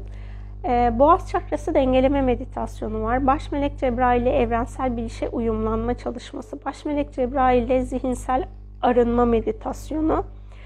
Baş melek Cebrail ile kabulleniş meditasyonu.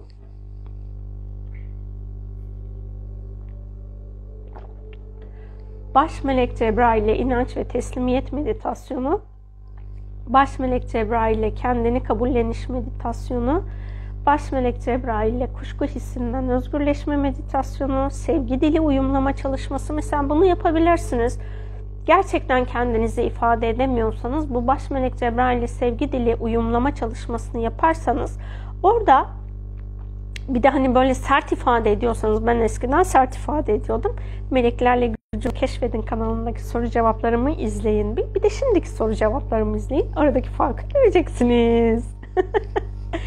e, sevgi diline geçmeye gerçekten niyet ettiğinizde orada hani gene sevgi dilinden böyle çıktığım azıcık sert olduğum zamanlar var biliyorum ama olabildiğince kendimi sevgi diline geçiş için çalışmalar yaptım.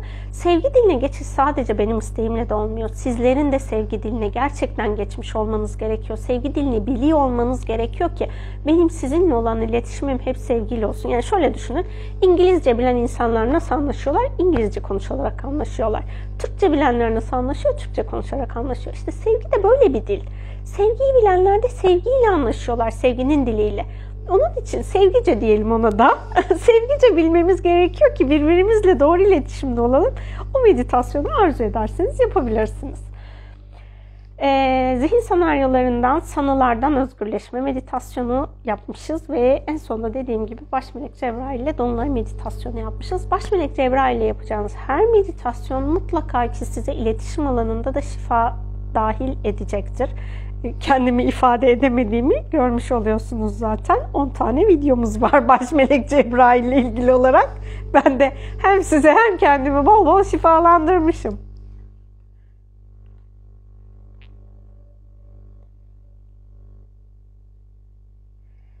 Ee,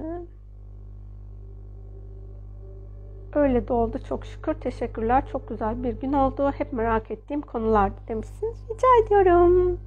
Kesinlikle çok doğru katılıyorum. Her ne kadar önce bunu anlamamış olsak da kaçınılmaması gereken bir durum. Aynaymışız birbirimize. Şifalanması dileğimle herkes için dileğim en doğru zamanda teşekkürler demişsiniz. Rica ediyorum. Şu an daha neşeli, şefkatlisiniz. Evet çok şükür. Bunun için hep şükrediyorum. Gerçekten çünkü hani o halim beni de çok yoruyordu. Yayında sizlerle konuşuyorum. Siz yani yorumlarınızı okuyorum, onlara cevap veriyorum. O yorumlarla birlikte gelen enerjiler var. Hem enerjiyi dengede tutmaya çalışıyorum, hem cevap vermeye çalışıyorum. Gerçekten ikisini dengelemek çok zor. Ee, onun için hani şu anki iletişimden ben de çok mutluyum. Hepinizle hani o cuma günü vakit geçirdiğimiz süreler benim için de böyle hiç anlamıyorum nasıl geçiyor diyorum. Şu şu anda da nasıl geçiyor dedim. Bir buçuk saat olmuş bu, bu akşamki yayınımızda. Onun için e, gerçekten sevgiyi bilen, sevgiyi konuşmak isteyen, sevgiyi anlayan hale dönüştüğümüzde iletişim bambaşka bir hale geçiyor. İşte su gibi akıp gidiyor diyoruz ya her şey o zaman su gibi akıp gidiyor ama işin içinde sevgisizlik olduğunda birazcık böyle sıkılmaya başlıyoruz, e, daralmaya başlıyoruz, of demeye başlıyoruz falan. Bunların olmadığı zamanlar daha güzel zamanlar. Ben hepsini denedim hayatımın içinde ama gerçekten sevgiyle iletişim, neşeyle, keyifli olan iletişim, oh diyerek yapacağımız iletişim çok daha güzel oluyor.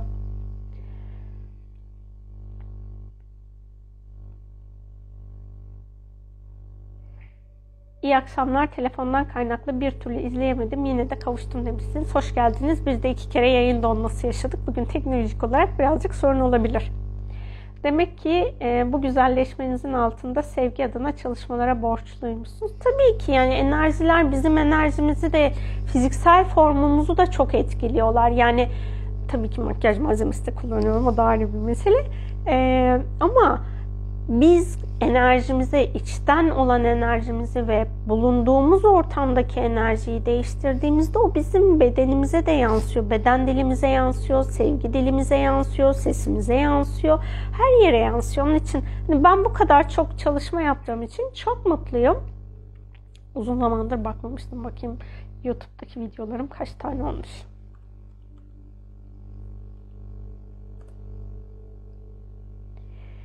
697 adet videomuz olmuş. Bu 698. videomuz olmuş olacak. Ee, 700'e yakın video yapmışım. Ne güzel yapmışım. Sizler de ne güzel dinlemişsiniz. Ee, bu kadar hem konuşma hem meditasyon tabii ki hem beni hem sizleri şifalandırıyor. Şükür diyorum ben bunun için.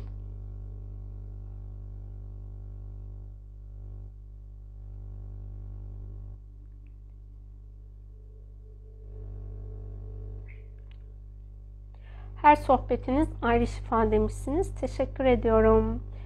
Ee, biz de öyle zaten. Öyle olmasak burada işimiz ne diye soracaksınızdır herhalde. Dem demek istemişsinizdir. Ben de hepinize çok teşekkür ediyorum. Yani ben burada kendim çalıp kendim oynasaydım bu kadar eğlenemezdim. Çünkü yorumlar gelmeyecek. E, monolog çok ilerlemiyor. Her ne kadar e, yazılarınızı okuyor olsam da ben o yazıyı enerjiyle birlikte okuduğum için sanki konuşuyormuşuz gibi oluyor. Ben mesela e, şeyi çok kullanıyorum. Hani yazışıyoruz demek yerine aa evet konuştuk diyorum. Hani başka biri de gerçekten mi oluyor?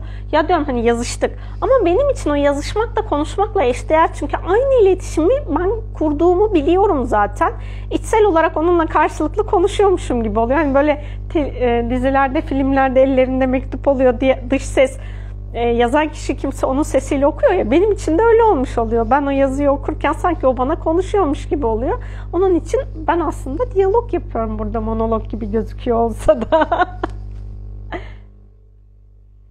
Söylediğiniz videoları tekrar alsak unuttum çünkü.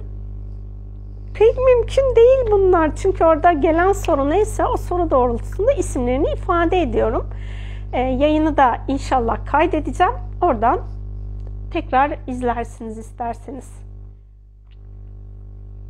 Ben şey diyorum zaten hani bana hangi videoyu söylediniz, hangi niyeti söylediniz sorularını sormayın. Onu zihnen söylemiyorum. O an gelen e, biliş neyse ona göre konuşuyorum. Hani konuşuyorum ama zihnimde onların bilgisi bulunmuyor.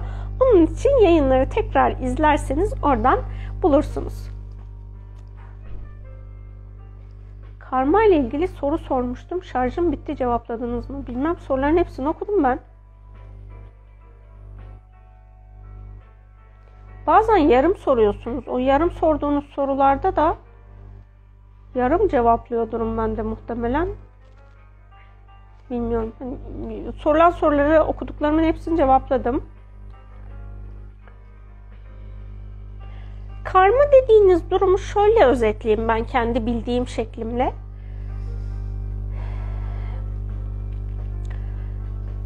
Bizim hani ruhsal planlar diye benim iki tane videom var.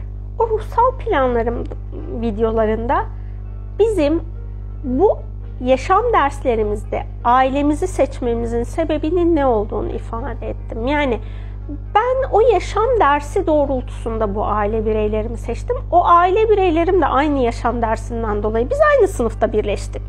Burada hepimiz kendi programımız neyse bu program doğrultusunda bunu dönüştürmeliyiz. Karmayı dönüştürecek en güzel şey gerçekten saf sevgi.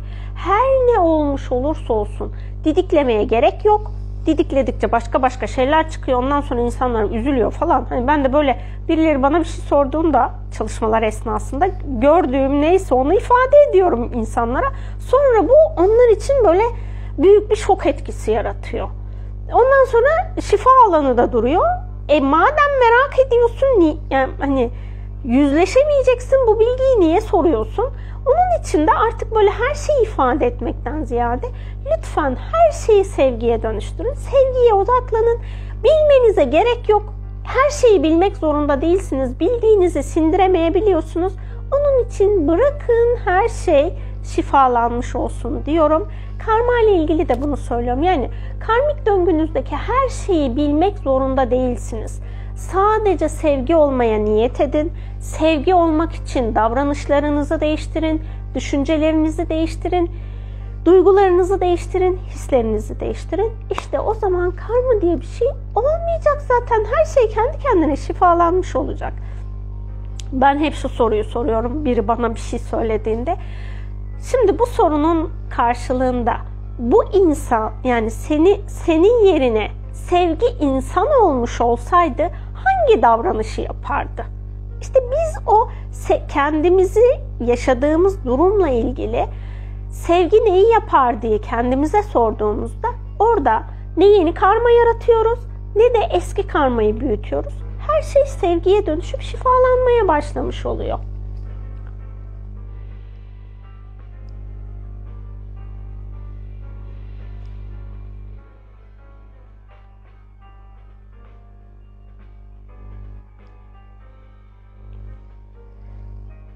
Ya işte bakın bir karmik durumla ilgili bir yorumumuz daha var. Pozitif olmayan bir yorum. Onu da okuyayım ki her şeyi öğrenme merakında olmayasınız diye okuyorum bakın. Korumayı alıyorum tabii ki okuyacağım her şeyi. Ee, bugün şifacı bir kadınla ilginç bir deneyim yaşadım. Yani açıkçası sende karma var gibisinden bir sürü olumlu olmayan özellik saydığı yıldızın düşük gibi şeyler. Aynen bahsettiğinizi yaşadım. Nasıl olumluya dönüştürebiliriz bu durumları? Şimdi öncelikle ne yapacağız? Merak alanımızı dengeleyeceğiz.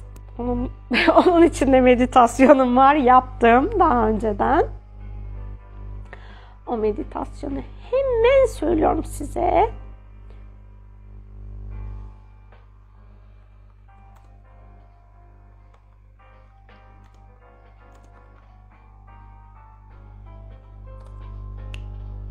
Işık bilgeleriyle merak duygusunun ilahi dengeye gelmesi meditasyonu. Bu meditasyonu yaptıktan sonra da tabii ki her şeye böyle burnunuzu sokmayın. Hani şey lafı var ya kedinin başına ne gelirse meraktan gelirmiş. Biz de bazen öyle meraktan hayatımızı karma karışık hale getirebiliyoruz. Bilgi edineceğim, bir şey öğrenebileceğim diye. Fal baktırıyorsanız zaten lütfen artık fal baktırmayın. Orada da hiç hiç ama hiç pozitif enerji yok fal alanında. Tarotta da falda da. İkisinde de hiç ya da şöyle söyleyeyim. Geleceğe dair öngörüler sunabilecek alanlarda kehan, kehanet bulunan alanlarda pozitif alan bulunmuyor. Kehanetler şundan dolayı karmaşık. Sizin varoluşunuzda bulunan potansiyelleri o kişi kendi frekansına göre algılıyor. Gerçekten o kişinin frekansı sevgi odağında değilse sizin daha fazla negatifte olan frekans e, potansiyellerinizi algılayacak ve size ifade edecektir. Onun için lütfen bunu yaptırmayın. Ee, daha sonra da ben her şeyin yapmış olduğum her ne olursa olsun kendi sorumluluğumu alıyorum deyin ve kendi kişilik özelliklerinizde var olan şifalanması gereken alanlar için kendinizi sevin. Hani en basit yapacağınız şey gerçekten kendinizi olduğunuz halinizle sevin ve ondan sonra size ya da başka insanlara zarar veren, onları mutsuz eden kişilik özellikleriniz varsa artık bunlardan özgürleşmeye niyet edin.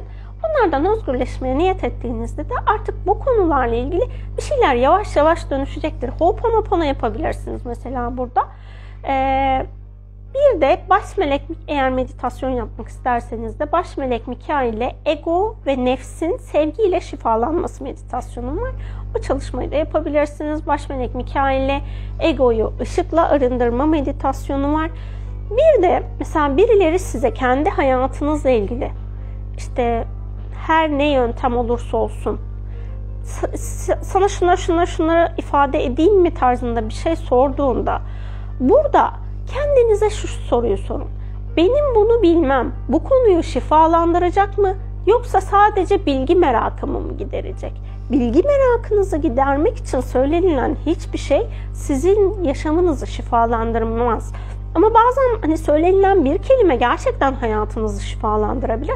Ben mesela bana bir, bir sürü sorular gel- gelebiliyor. Açık ya da işte e, mesaj aracılığıyla. Sorunun enerjisi gerçekten sert bir cevap içeriyorsa o zaman şunu sorun. Bunun cevabını gerçekten bilmek istiyor musunuz? Evet derse gelen bilgi neyse onu aktarıyorum oraya. Yani o, ve onda da yüzde 99 insanlar duyduğu cevaptan mutlu olmuyorlar. Onun için bilmek sizi mutlu etmiyor. Sadece şifaya odaklanın. En güzel şifa aracımız da sevgi enerjisi. Kendinizi sevin, yaptığınız her şeyi sevgiyle kabul edin ve yaptıklarınızı eğer pozitif davranışlar değilse bundan sonra yapmamak için sevgi bilgeliğini davet edin alanınıza. Cuma günkü yapmış olduğumuz yayınların hepsinde amacımız bu. Arzu edenlerin Cuma canlı yayınlarını da bekliyorum YouTube'dan. Saat 21'de başlıyoruz. Ne zaman bitireceğimiz belli olmuyor. Genelde 3-3,5 saat sürüyor yayınlarımız. Çok nadir 2 saat sürdüğü oluyor. Orada ben bunları anlatıyorum hep size.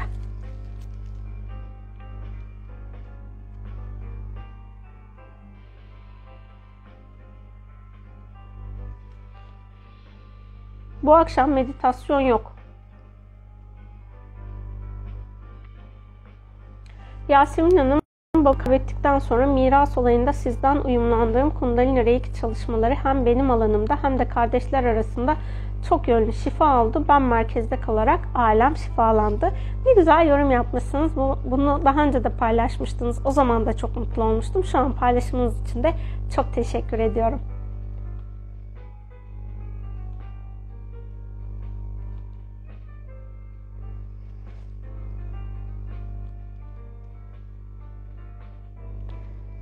Yasemin Hanım duru görü yeteneğimizi nasıl ortaya çıkarırız veya geliştiririz fakat enerjisel varlık görmekten bahsetmiyorum tabii ki.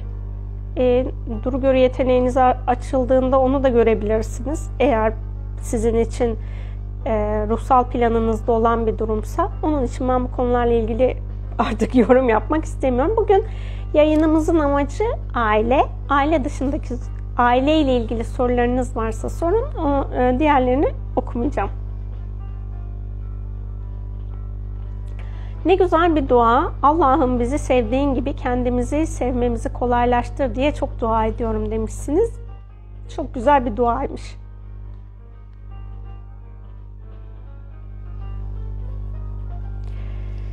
Merhaba Yasemin Hanım. Negatif şikayetçi ve dedikoduyu seven insanlarla aynı ortamı paylaşmak durumundayım. Bunu kabullendim fakat bazen çok yoruluyorum. Öneriniz olursa çok mutlu olurum demişsiniz. Eğer burada zaten sizin deneyiminiz bittiyse o insanlar sizin hayatınızdan gidecektir. Gitmediğine göre bu aile bireyi ya da diğer çevrenizdeki insanlar olabilir. Gitmediğine göre burada sizin hala kendi içinizde dönüştürmeniz gereken alanlar vardır. Düşüncesel olarak birilerinin dedikodusunu yapıyor musunuz kendi kendinize?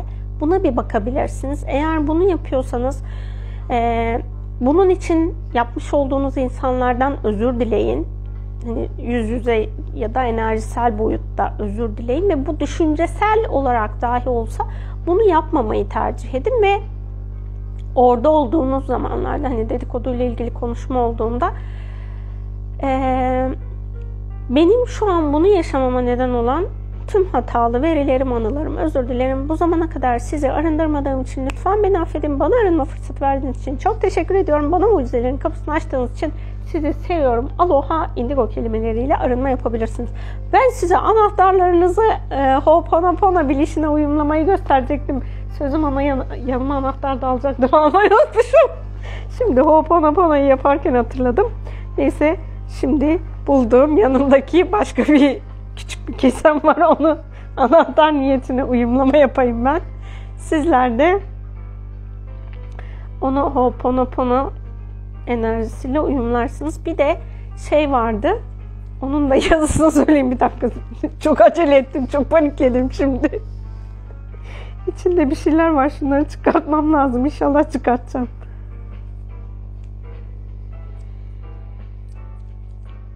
Minnak kesemle size uyumlama göstereceğim. Bu bizim anahtarımız olsun tamam mı? Evinizin anahtarı. Ya da gidin evinizin anahtarını alın ben sizi birazcık bekleyeyim. Ee, ya da sonrasında yayından sonra yaparsınız. Birkaç dakika bekleyeceğim. Birazcık gevezelik yapacağım tamam mı? Siz gidin anahtarınızı bulun. Evinizin anahtarını ya da anahtarlığınızı.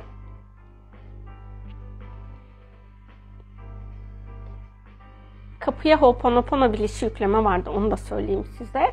Hem meleklerle gücünüzü keşfedin hem de benim e, Yasemin Derya Metin kanalı aman internet sitemde var kanal diye diye artık her şeyi aynı söylemeye başladım. Kapıda.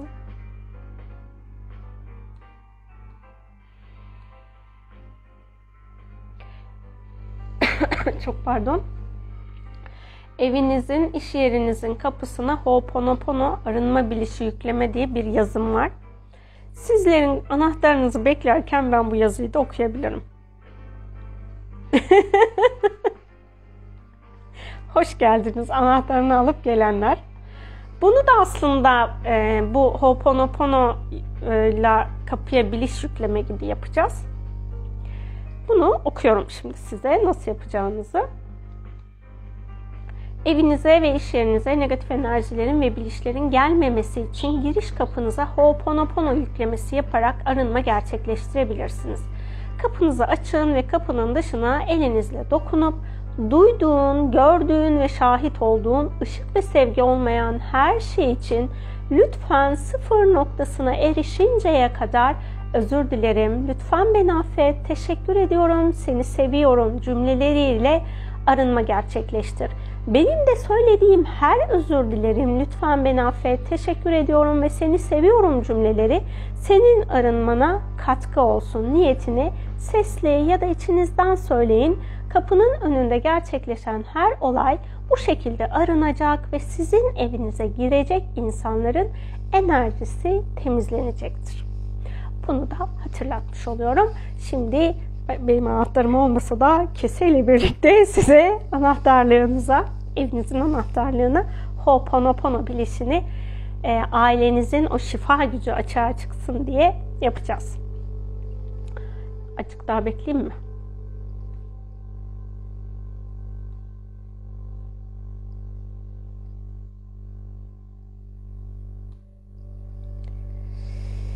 Şimdi anahtarlığınızı elinize alın.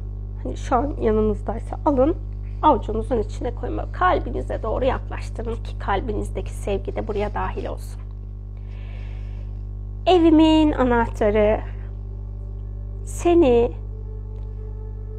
aile kavramı ile ilgili bizim ailemizde yaşanan her şey sıfır noktasına erişip sevgiye dönüşünceye kadar arınma yapman için programlıyorum. Benim ailemle ilgili yaşamış olduğum tüm deneyimler saf sevgiye dönüşünceye kadar lütfen andan ana Ho'oponopono ile ailemizin, evimizin enerjisini arındır. Özür dilerim, beni affet, teşekkür ederim, seni seviyorum. Aloha Indigo. Benim de söyleyeceğim her Ho'oponopono arınma cümlesi senin arınmana destek olsun, katkı sağlasın. Her şey sevgiye dönüşsün. Niyetiyle anahtarınıza Ho'oponopono bilişi yüklemiş oluyorsunuz. Bu bilişi yüklediğimizde o nesne sürekli olarak bu frekansı yaymış oluyor. İşte siz anahtarınızla kapıyı açarken, kapınızı kilitlerken de Ho'oponopono yapabilirsiniz. Hani dualarınız varsa tabii ki dualarınızı da okuyun. Orada Ho'oponopono'yu yaptığınızda e, sizin alanınızda her ne varsa o yaşadığınız evle ilgili sıkışmış olan alanlar da şifalanmaya başlayacak. Ya yani evdeki hani tek başınıza da yaşıyor olabilirsiniz. Birçok insanla birlikte de yaşıyor olabilirsiniz. Orada işte e, siz bu arınmayı yaptığınızda o anahtar aracılığıyla frekans sürekli olarak Ho'oponopono enerjisini ailenizin alanında bulunduracak. Ve siz de hani ben genelde öyle oluyorum. Hani bir şeye Ho'oponopono bilişi yüklediğimde onu gördüğümde Ho'oponopono da aklıma gelmiş oluyor. Anahtarınızı elinize aldığınızda Ho'oponopono'yu hatırlarsınız ve ne kadar çok biz Ho'oponopono cümlesi söylersek yaşamımızı o kadar arındırmış oluyoruz. Bunu da hatırlatmış olayım. Canlı yayının başından söyleyecektim. Unuttum. Neyse ki yayın bitmeden hatırladım. Ee, bu iş yeri ve evle ilgili olan kısım yaseminderyametin.com'da e, bulunuyor. Evinizin, iş yerinizin kapısına Ho'oponopono arınma bilişi yükleme yazının başlığı da.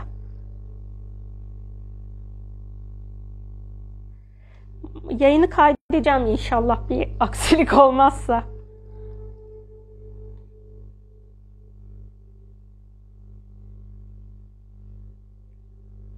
Ben de iki kere falan dondum. Ben şimdi size bu yayın aracılığıyla şöyle bir şey sorayım.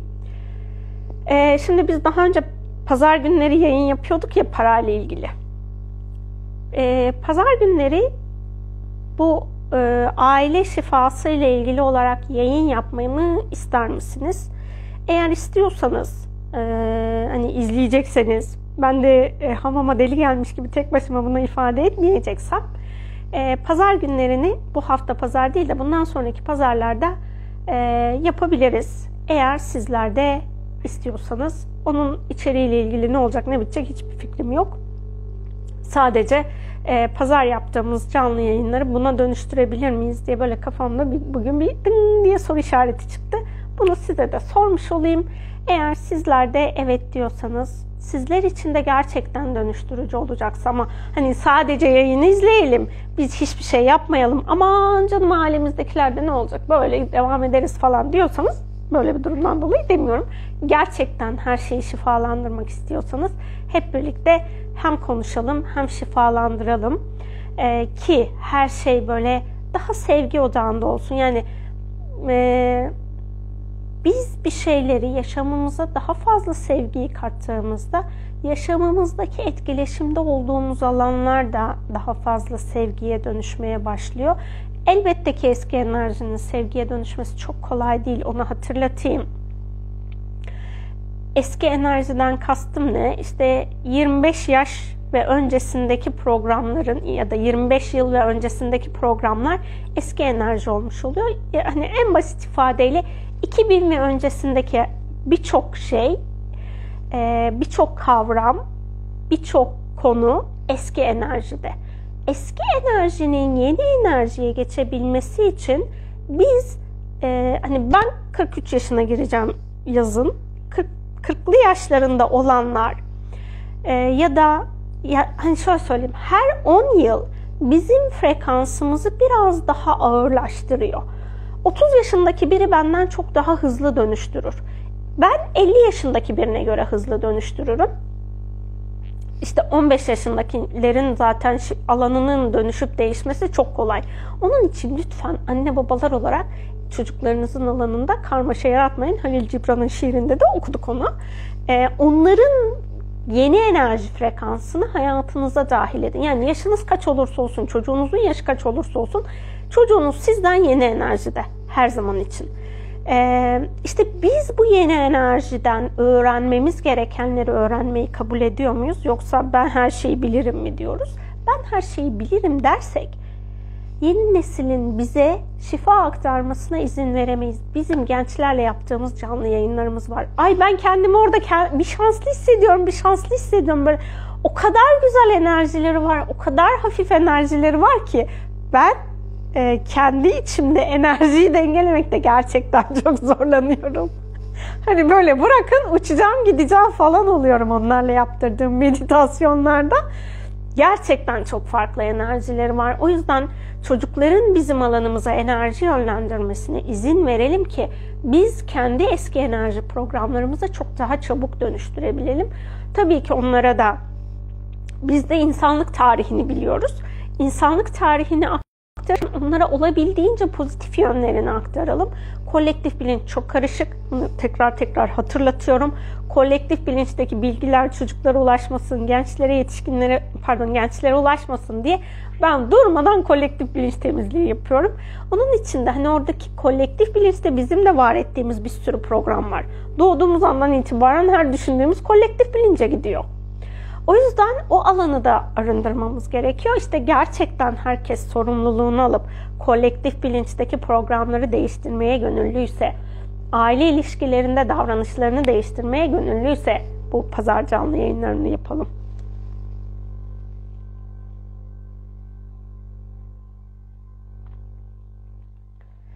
Birbirimize örümcek ağ gibi bağlıyız. Bire bütüne şifa olması dileğiyle demişsiniz. Amin. Çocuklarla uğraşmaktan vazgeçip kendimizi dönüştürmek çok daha verimli olacak. Bunu gerçekten yaşıyorum demişsiniz. Ee, bence de hani çatışmak, savaşmak hiçbir zaman bizi ilerletmiyor. Elbette ki bil, hani oturmuş bilginin değişmesi zor. Bu bilginin değişebilmesi için doğru iletişim çok önemli biz doğru iletişim kurmaya izin verdiğimizde ve kendi kendimizle yüzleşme cesaretinde olduğumuzda bu alan çok daha kolay dönüşecektir. Ben size kendimin böyle hani çok öfkelendiğimi ya da işte e, yayınlarda daha sert dille konuştuğumu falan niye ifade ediyorum? Bakın ben değiştim.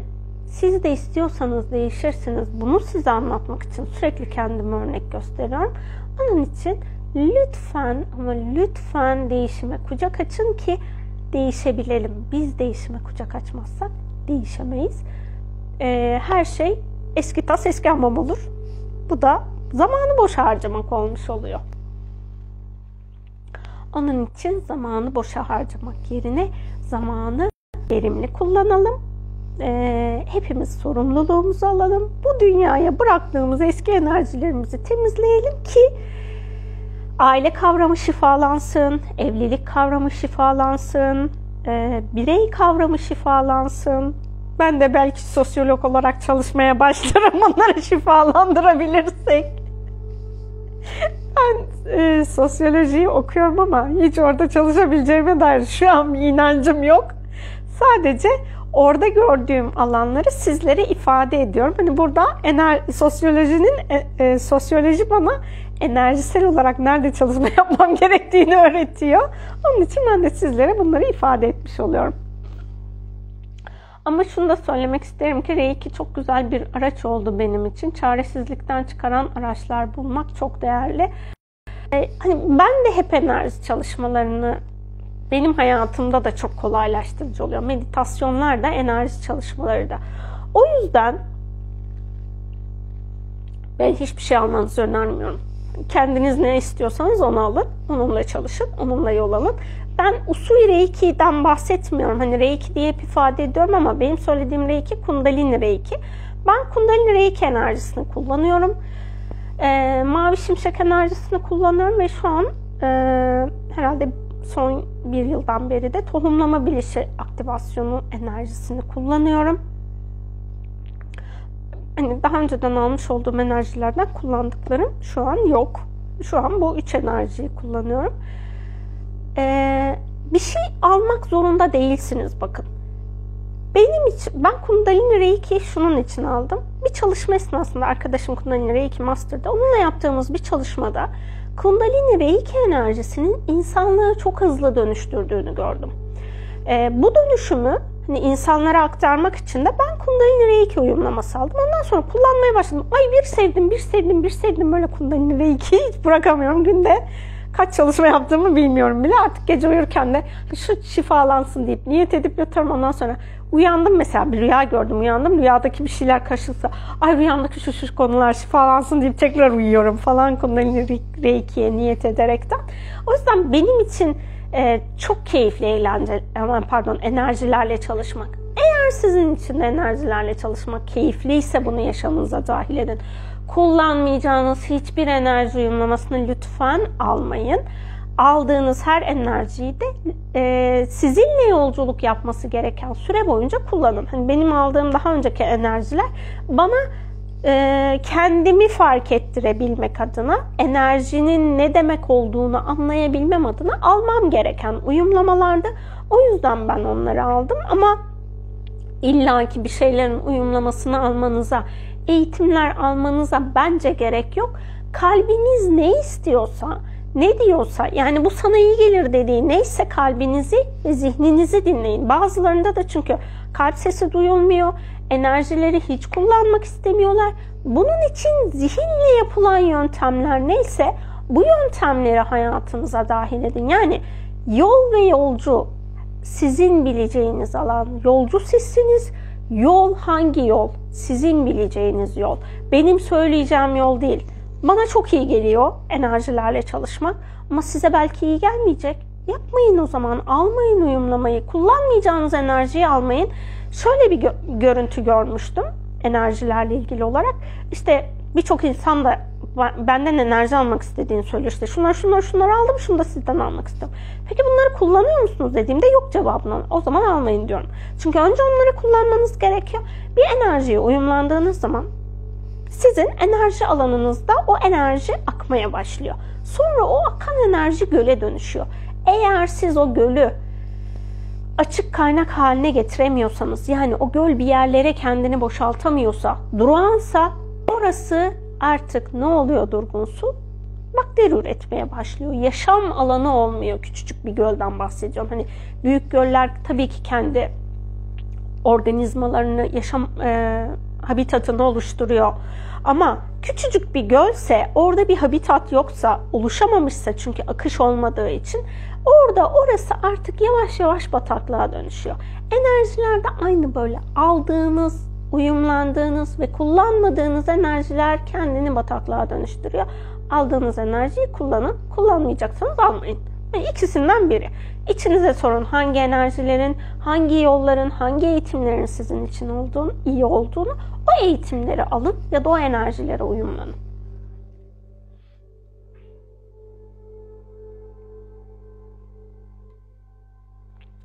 Çok bilgiyle karşılaşıyoruz. Bunlar güzel ama nasıl dönüştüreceğim dediğiniz anda yardımcı oluyor. Araç insanın keyif aldığı bir seçim olmalı diye düşünüyorum demişsiniz. Evet bence de öyle. Keyif alacağınız bir şeyi kullanın. Yani işkence gibi gelen bir e, yöntem sizi dön- dönüştürmeyebilir. Beni dönüştürmüyor çünkü. Hani bir şeylerin çok böyle ıı, şeyi varsa onu yapacaksın, bunu yapacaksın. Hani bir sürü silsile gerekiyorsa, bir sürü ritüeli varsa o benim için hiç keyifli olmuyor. Benim için böyle ritüel ritüel olmadan hop kolayca yapacağım çalışmalar olsun. Kundalini Reiki de gerçekten çok kolay. Önceden ben mesela elinize yazın diyordum. Ben de hep elime yazıyordum. Sonra bana dediler ki Yasemin biz bunu elimize yazmasak olur mu? Dedim bilmiyorum bir deneyelim bakalım olur mu? Ondan sonra niyet edip elimi kapatmaya başladım. Oluyor. Bazıları hiç elini de kapatmıyor. Sadece niyet ediyor ve enerjiyi çalıştırıyor. O da onun alanında da çalışıyor. Ben hani elimi kapatmaktan keyif alıyorum Kundalini ile çalışırken. Enerjiyi daha fazla hissediyorum çünkü. Enerji hani zihnimi de o alana odaklayabiliyorum. O yüzden ben onu yapmaya çok keyif alıyorum. Ben öyle çalışıyorum ama e, sizin için e, sadece enerjiye niyet etmekse Kundalini Reiki'den bahsediyorum. Tabii ki usulü Reiki değil anlattığım enerji. O, o şekilde ilerleyin. Yani sizin için en keyifli, en kolay araç neyse bunu kullanın. Ho'oponopono mesela zihne çok güzel hitap ediyor. Bol bol Ho'oponopono yapın. Ben onu da çok seviyorum. Hani hem Ho'oponopono hem e, Kundalini Reiki ya da esmalarla çalışmak falan benim için çok keyifli oluyor ama esma konusunda bana soru sormayın.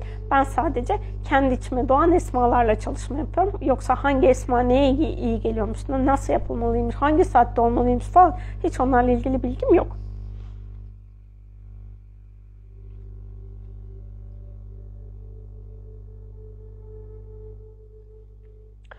Uyumlan uyumlanmış olup bu frekanstaki enerjiler kullanılmadıkça bunların enerjetik beden üzerimizde bir vebali ağırlığı veya kirliliği olur mu? Onların iptali söz konusu olabilir mi? Enerjinin nasıl olduğunu hani göl örneğimle anlatmaya çalıştım. Ee, benim gördüğüm alan öyleydi. Enerji iptali ile ilgili bana şöyle bir bilgi verilmişti. Kundalini Reiki uyumlaması yap, yapan arkadaşlara enerjinin iptal edilmesi talep edilmiş. Onu sordukları zaman dedim ki enerji iptali mümkünmüş ama bu cadıların yapmış olduğu bir işlem. Cadılar da tekamülsüz alan frekansını barındırıyorlar. Kendi alanınızda tekamülsüz alan frekansını bence dahil etmeyin. Ben iptal etmiyorum dedim. Hani böyle bir şey talep edilse bile. Ben yaratıcıya teslim ediyorum. O olması gereken neyse onun alanında kalması mı gerekiyor o enerjinin? Alınması mı gerekiyor? Her şeyi yaratıcı karar versin. Ama siz alanınızdaki enerjinin iptalini e, yaşamınızda var etmeye çalışırsanız o zaman cadılık programlarını da alanınıza davet etmiş oluyorsunuz. Bence bunu iptal etmeyi yapmasanız iyi olur. Ee, bunun yerine bakalım yaptığım çalışma var mıydı?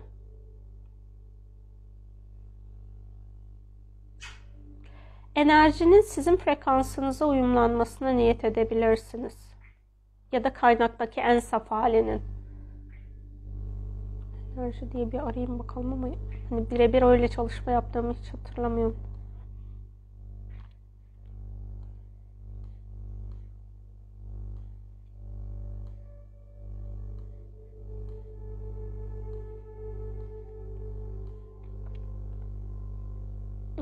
Yok yapmamışım öyle bir çalışma.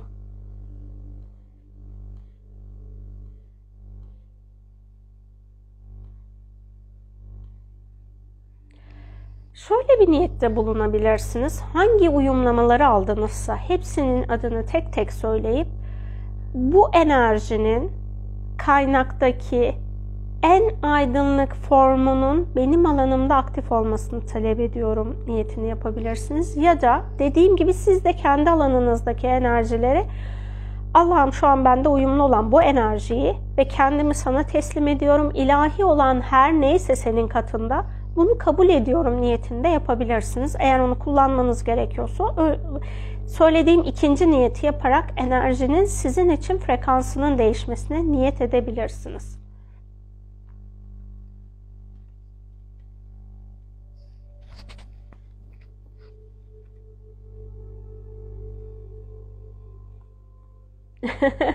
Çok güzel yorum yazmışsınız. Su saatime reiki yükledim mesela. Dolayısıyla her açtığımda fark ediyorum. Bu enerji aktif diyorum. Bu bile pozitife geçmek için muhteşem demişsiniz. Evet hani enerjileri çeşit çeşit kullanabiliyoruz. Onları da hayatımızda kullanmak bence gerçekten bir şeyleri değiştiriyor ve kolaylaştırıyor.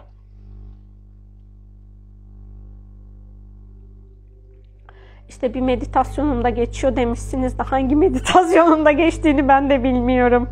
Ee, bu enerjinin kaynaktaki en sefalinin tekrar uyumlanması demişim ama hangi meditasyon olduğunu gerçekten isim olarak bilmiyorum.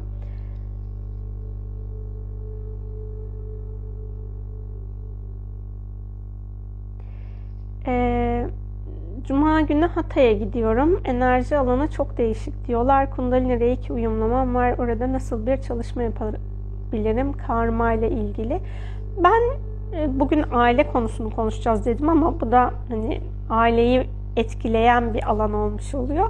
Ee, bunu da ifade etmiş olayım. Ben gideceğim yerler için konum reikisi yapıyorum. Ee, konum reikisini yaptığınızda eğer orada bir karışık enerji varsa o enerji temizlenmiş oluyor. Sonrasında da işte hani bir yerlere, mekanlara, oraya buraya gittiğimde her, her nereye gidersem gideyim mesela yeryüzü şifacıları için ha onu da hatırlamış oldum yazıyı. Hemen onu hatırlatayım size. Yazıyı başlığını söyleyeyim. Siz onu e, yaseminderyametin.com'dan bakın, okuyun. Oradaki çalışmalardan istediğinizi yapabilirsiniz. Yeryüzü şifacıları için mekan temizliği çalışmaları. Orada aklıma gelenlerin hepsini yazdım. Siz de o çalışmaları yapabilirsiniz. Gittiğiniz yerde. Maşallah ne güzel gülüyorsunuz demişsiniz. Teşekkür ediyorum. Sağ olun. Siz de gülün. Hepimiz gülelim. Zaten güldükçe frekansımız da yükseliyor. Onu da hatırlatmış olayım. Onun için olabildiğince bol miktarda gülecek sebepler bulun. Kendinize bana fıstık hatırlatıyor gülmeyi mesela. Onun gagasından öptüğüm zaman yapıyor böyle. ben de onunla birlikte tekrar gülmeye başlıyorum. Ya da kendi kendine konuşuyor, konuşuyor, konuşuyor. Ondan sonra benim kahkahamı atıyor ha ha ha diye. Ben onun kahkaha sesini duyduğum zaman kendim gülmeye başlıyorum. Ee, siz de yaşamınızda mutlaka ki kahkaha atın ya da hani kahkaha atamıyorum diyenler olmuştu daha önceki yorumlarımızda. Gülümseyin. Gülümsemek bile hani o aile şifası dedik ya bugünkü konuşum, konumuz.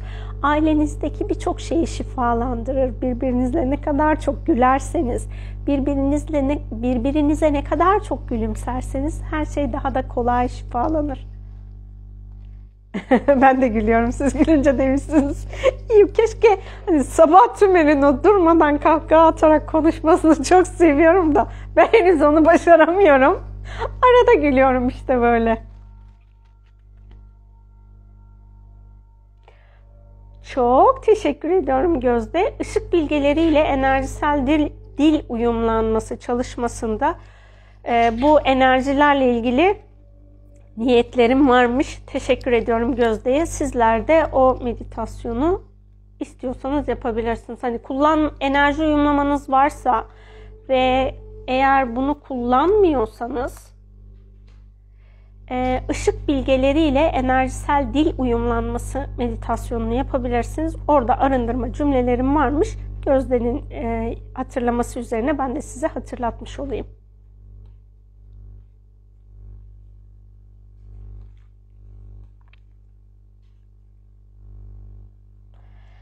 Ya hani evet aile büyüklerimizin bize gülmeyle ilgili falan söylemiş olduğu bir sürü tanımlar var ama e, onlar da ailelerinden öyle gördükleri için, büyüklerinden öyle gördükleri için bunları söylediler. Ama artık bence hep birlikte gülebiliriz. E, Cuma canlı yayınlarımızda tekrar hatırlatıyorum. Sevgi ve Neşe Şifası yayınımızın e, başlığı da zaten. Orada amacımız bu bizim hayatımızda neşeyi var etmemizi engelleyen konu neyse bunların şifalanmasına yönelik hem sohbet ediyoruz hem meditasyon yapıyoruz. Onun için daha çok insan böyle neşeli sevgi içinde olsun ki diğer insanlar da ondan feyz alıp aa bak böyle de olunabiliyormuş böyle olalım desinler. Surat asık insanlardan feyz almak yerine gülümseyen insanlardan kahkaha atan insanlardan feyz almaya başlasınlar.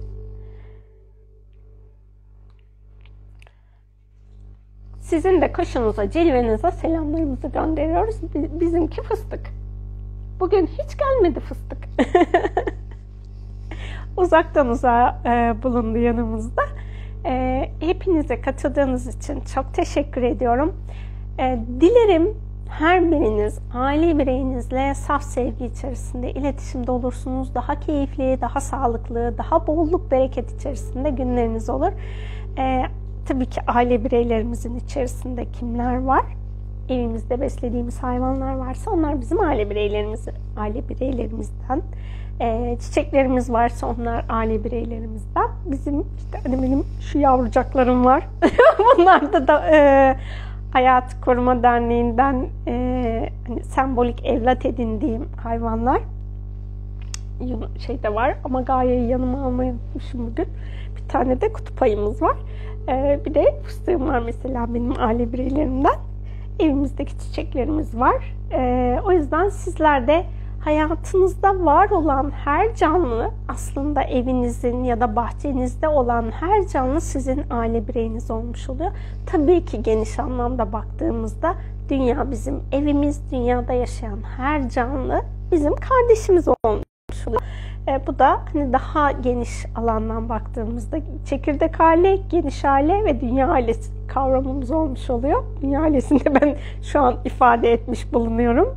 E, böyle bir tanım var mı bilmiyorum ama benim, benim içimden böyle bir ifade geldi. İnsanlık ailesi dediğimiz sadece insanlarla olan etkileşimimiz ama dünya ailesi dediğim gibi dünyada yaşayan her canlıyı ailemizden bir birey olarak görmeye başladığımız zaman dilimi olmuş oluyor.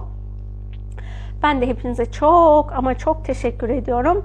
Anladığım kadarıyla pazar canlı yayınlarına birçoğunuz evet dediniz. Ee, e, bu hafta pazar değil, bundan sonraki pazarda inşallah buluşmak ümidiyle. Dünya bizim evimiz, aileyiz. Çok sevdim bu sözü demişsiniz. Rica ediyorum. İyi geceler, renkli rüyalar, emeğinize, ilginize çok teşekkür ederim demişsiniz. Teşekkür ediyoruz tüm katkılarınız için demişsiniz. Ben de sizlere teşekkür ediyorum.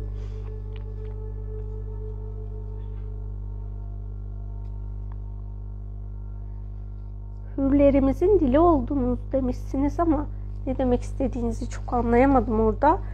Kelime hata, ya harf hatası olabilir. Teşekkür ederim. Ne çabuk geçiyor zaman demişsiniz. Saat ben demin baktığımda 11 buçuktu. Şu an 12.20 geçiyor. Vallahi bayağı çabuk geçmiş. Bu kadar uzun konuşacağımı da tahmin etmiyordum ama bayağı uzun zamandır konuşmuşum gene. İyi geceler. Umarım bir sonrakine yetişirim. Ee, bundan sonrakileri herhalde pazar günü yapacağım ama pazar 19'da yapmayı pek düşünmüyorum. O çok erken oluyor. Benim için çok koşturuyorum falan. 20 ee, ya da 21 yaparız pazar günleri de. Ee, hepinize katıldığınız için çok çok çok teşekkür ediyorum. Hizmetlerimizin demek ha Teşekkürler hizmetlerimizin dili olun. İyi ki varsın demişsiniz. Ben de teşekkür ediyorum. Bir de son olarak gitmeden önce size bir meditasyon daha hatırlatıyorum. Emek ve hizmet alanının şifalanması. Aile alanında bu konu birazcık e, karışık olabiliyor ve eğer çok hizmet ediyorsanız orada açık mutsuz olabiliyorsunuz. Işık bilgeleriyle emek ve hizmet alanının arındırılması. Bu sadece ev içindeki hizmet ve emek değil, iş hayatınızdaki, para kazandığınız alandaki hizmet ve emek için aslında yapıldı ama orada evdeki alanda çok fazla ifade edildi. Onun için bunu da hatırlatmış olayım. Evde aile bireylerimiz her birimiz birbirimize sevgiyle hizmet edersek o da çok daha güzel bir alan olmuş olacak.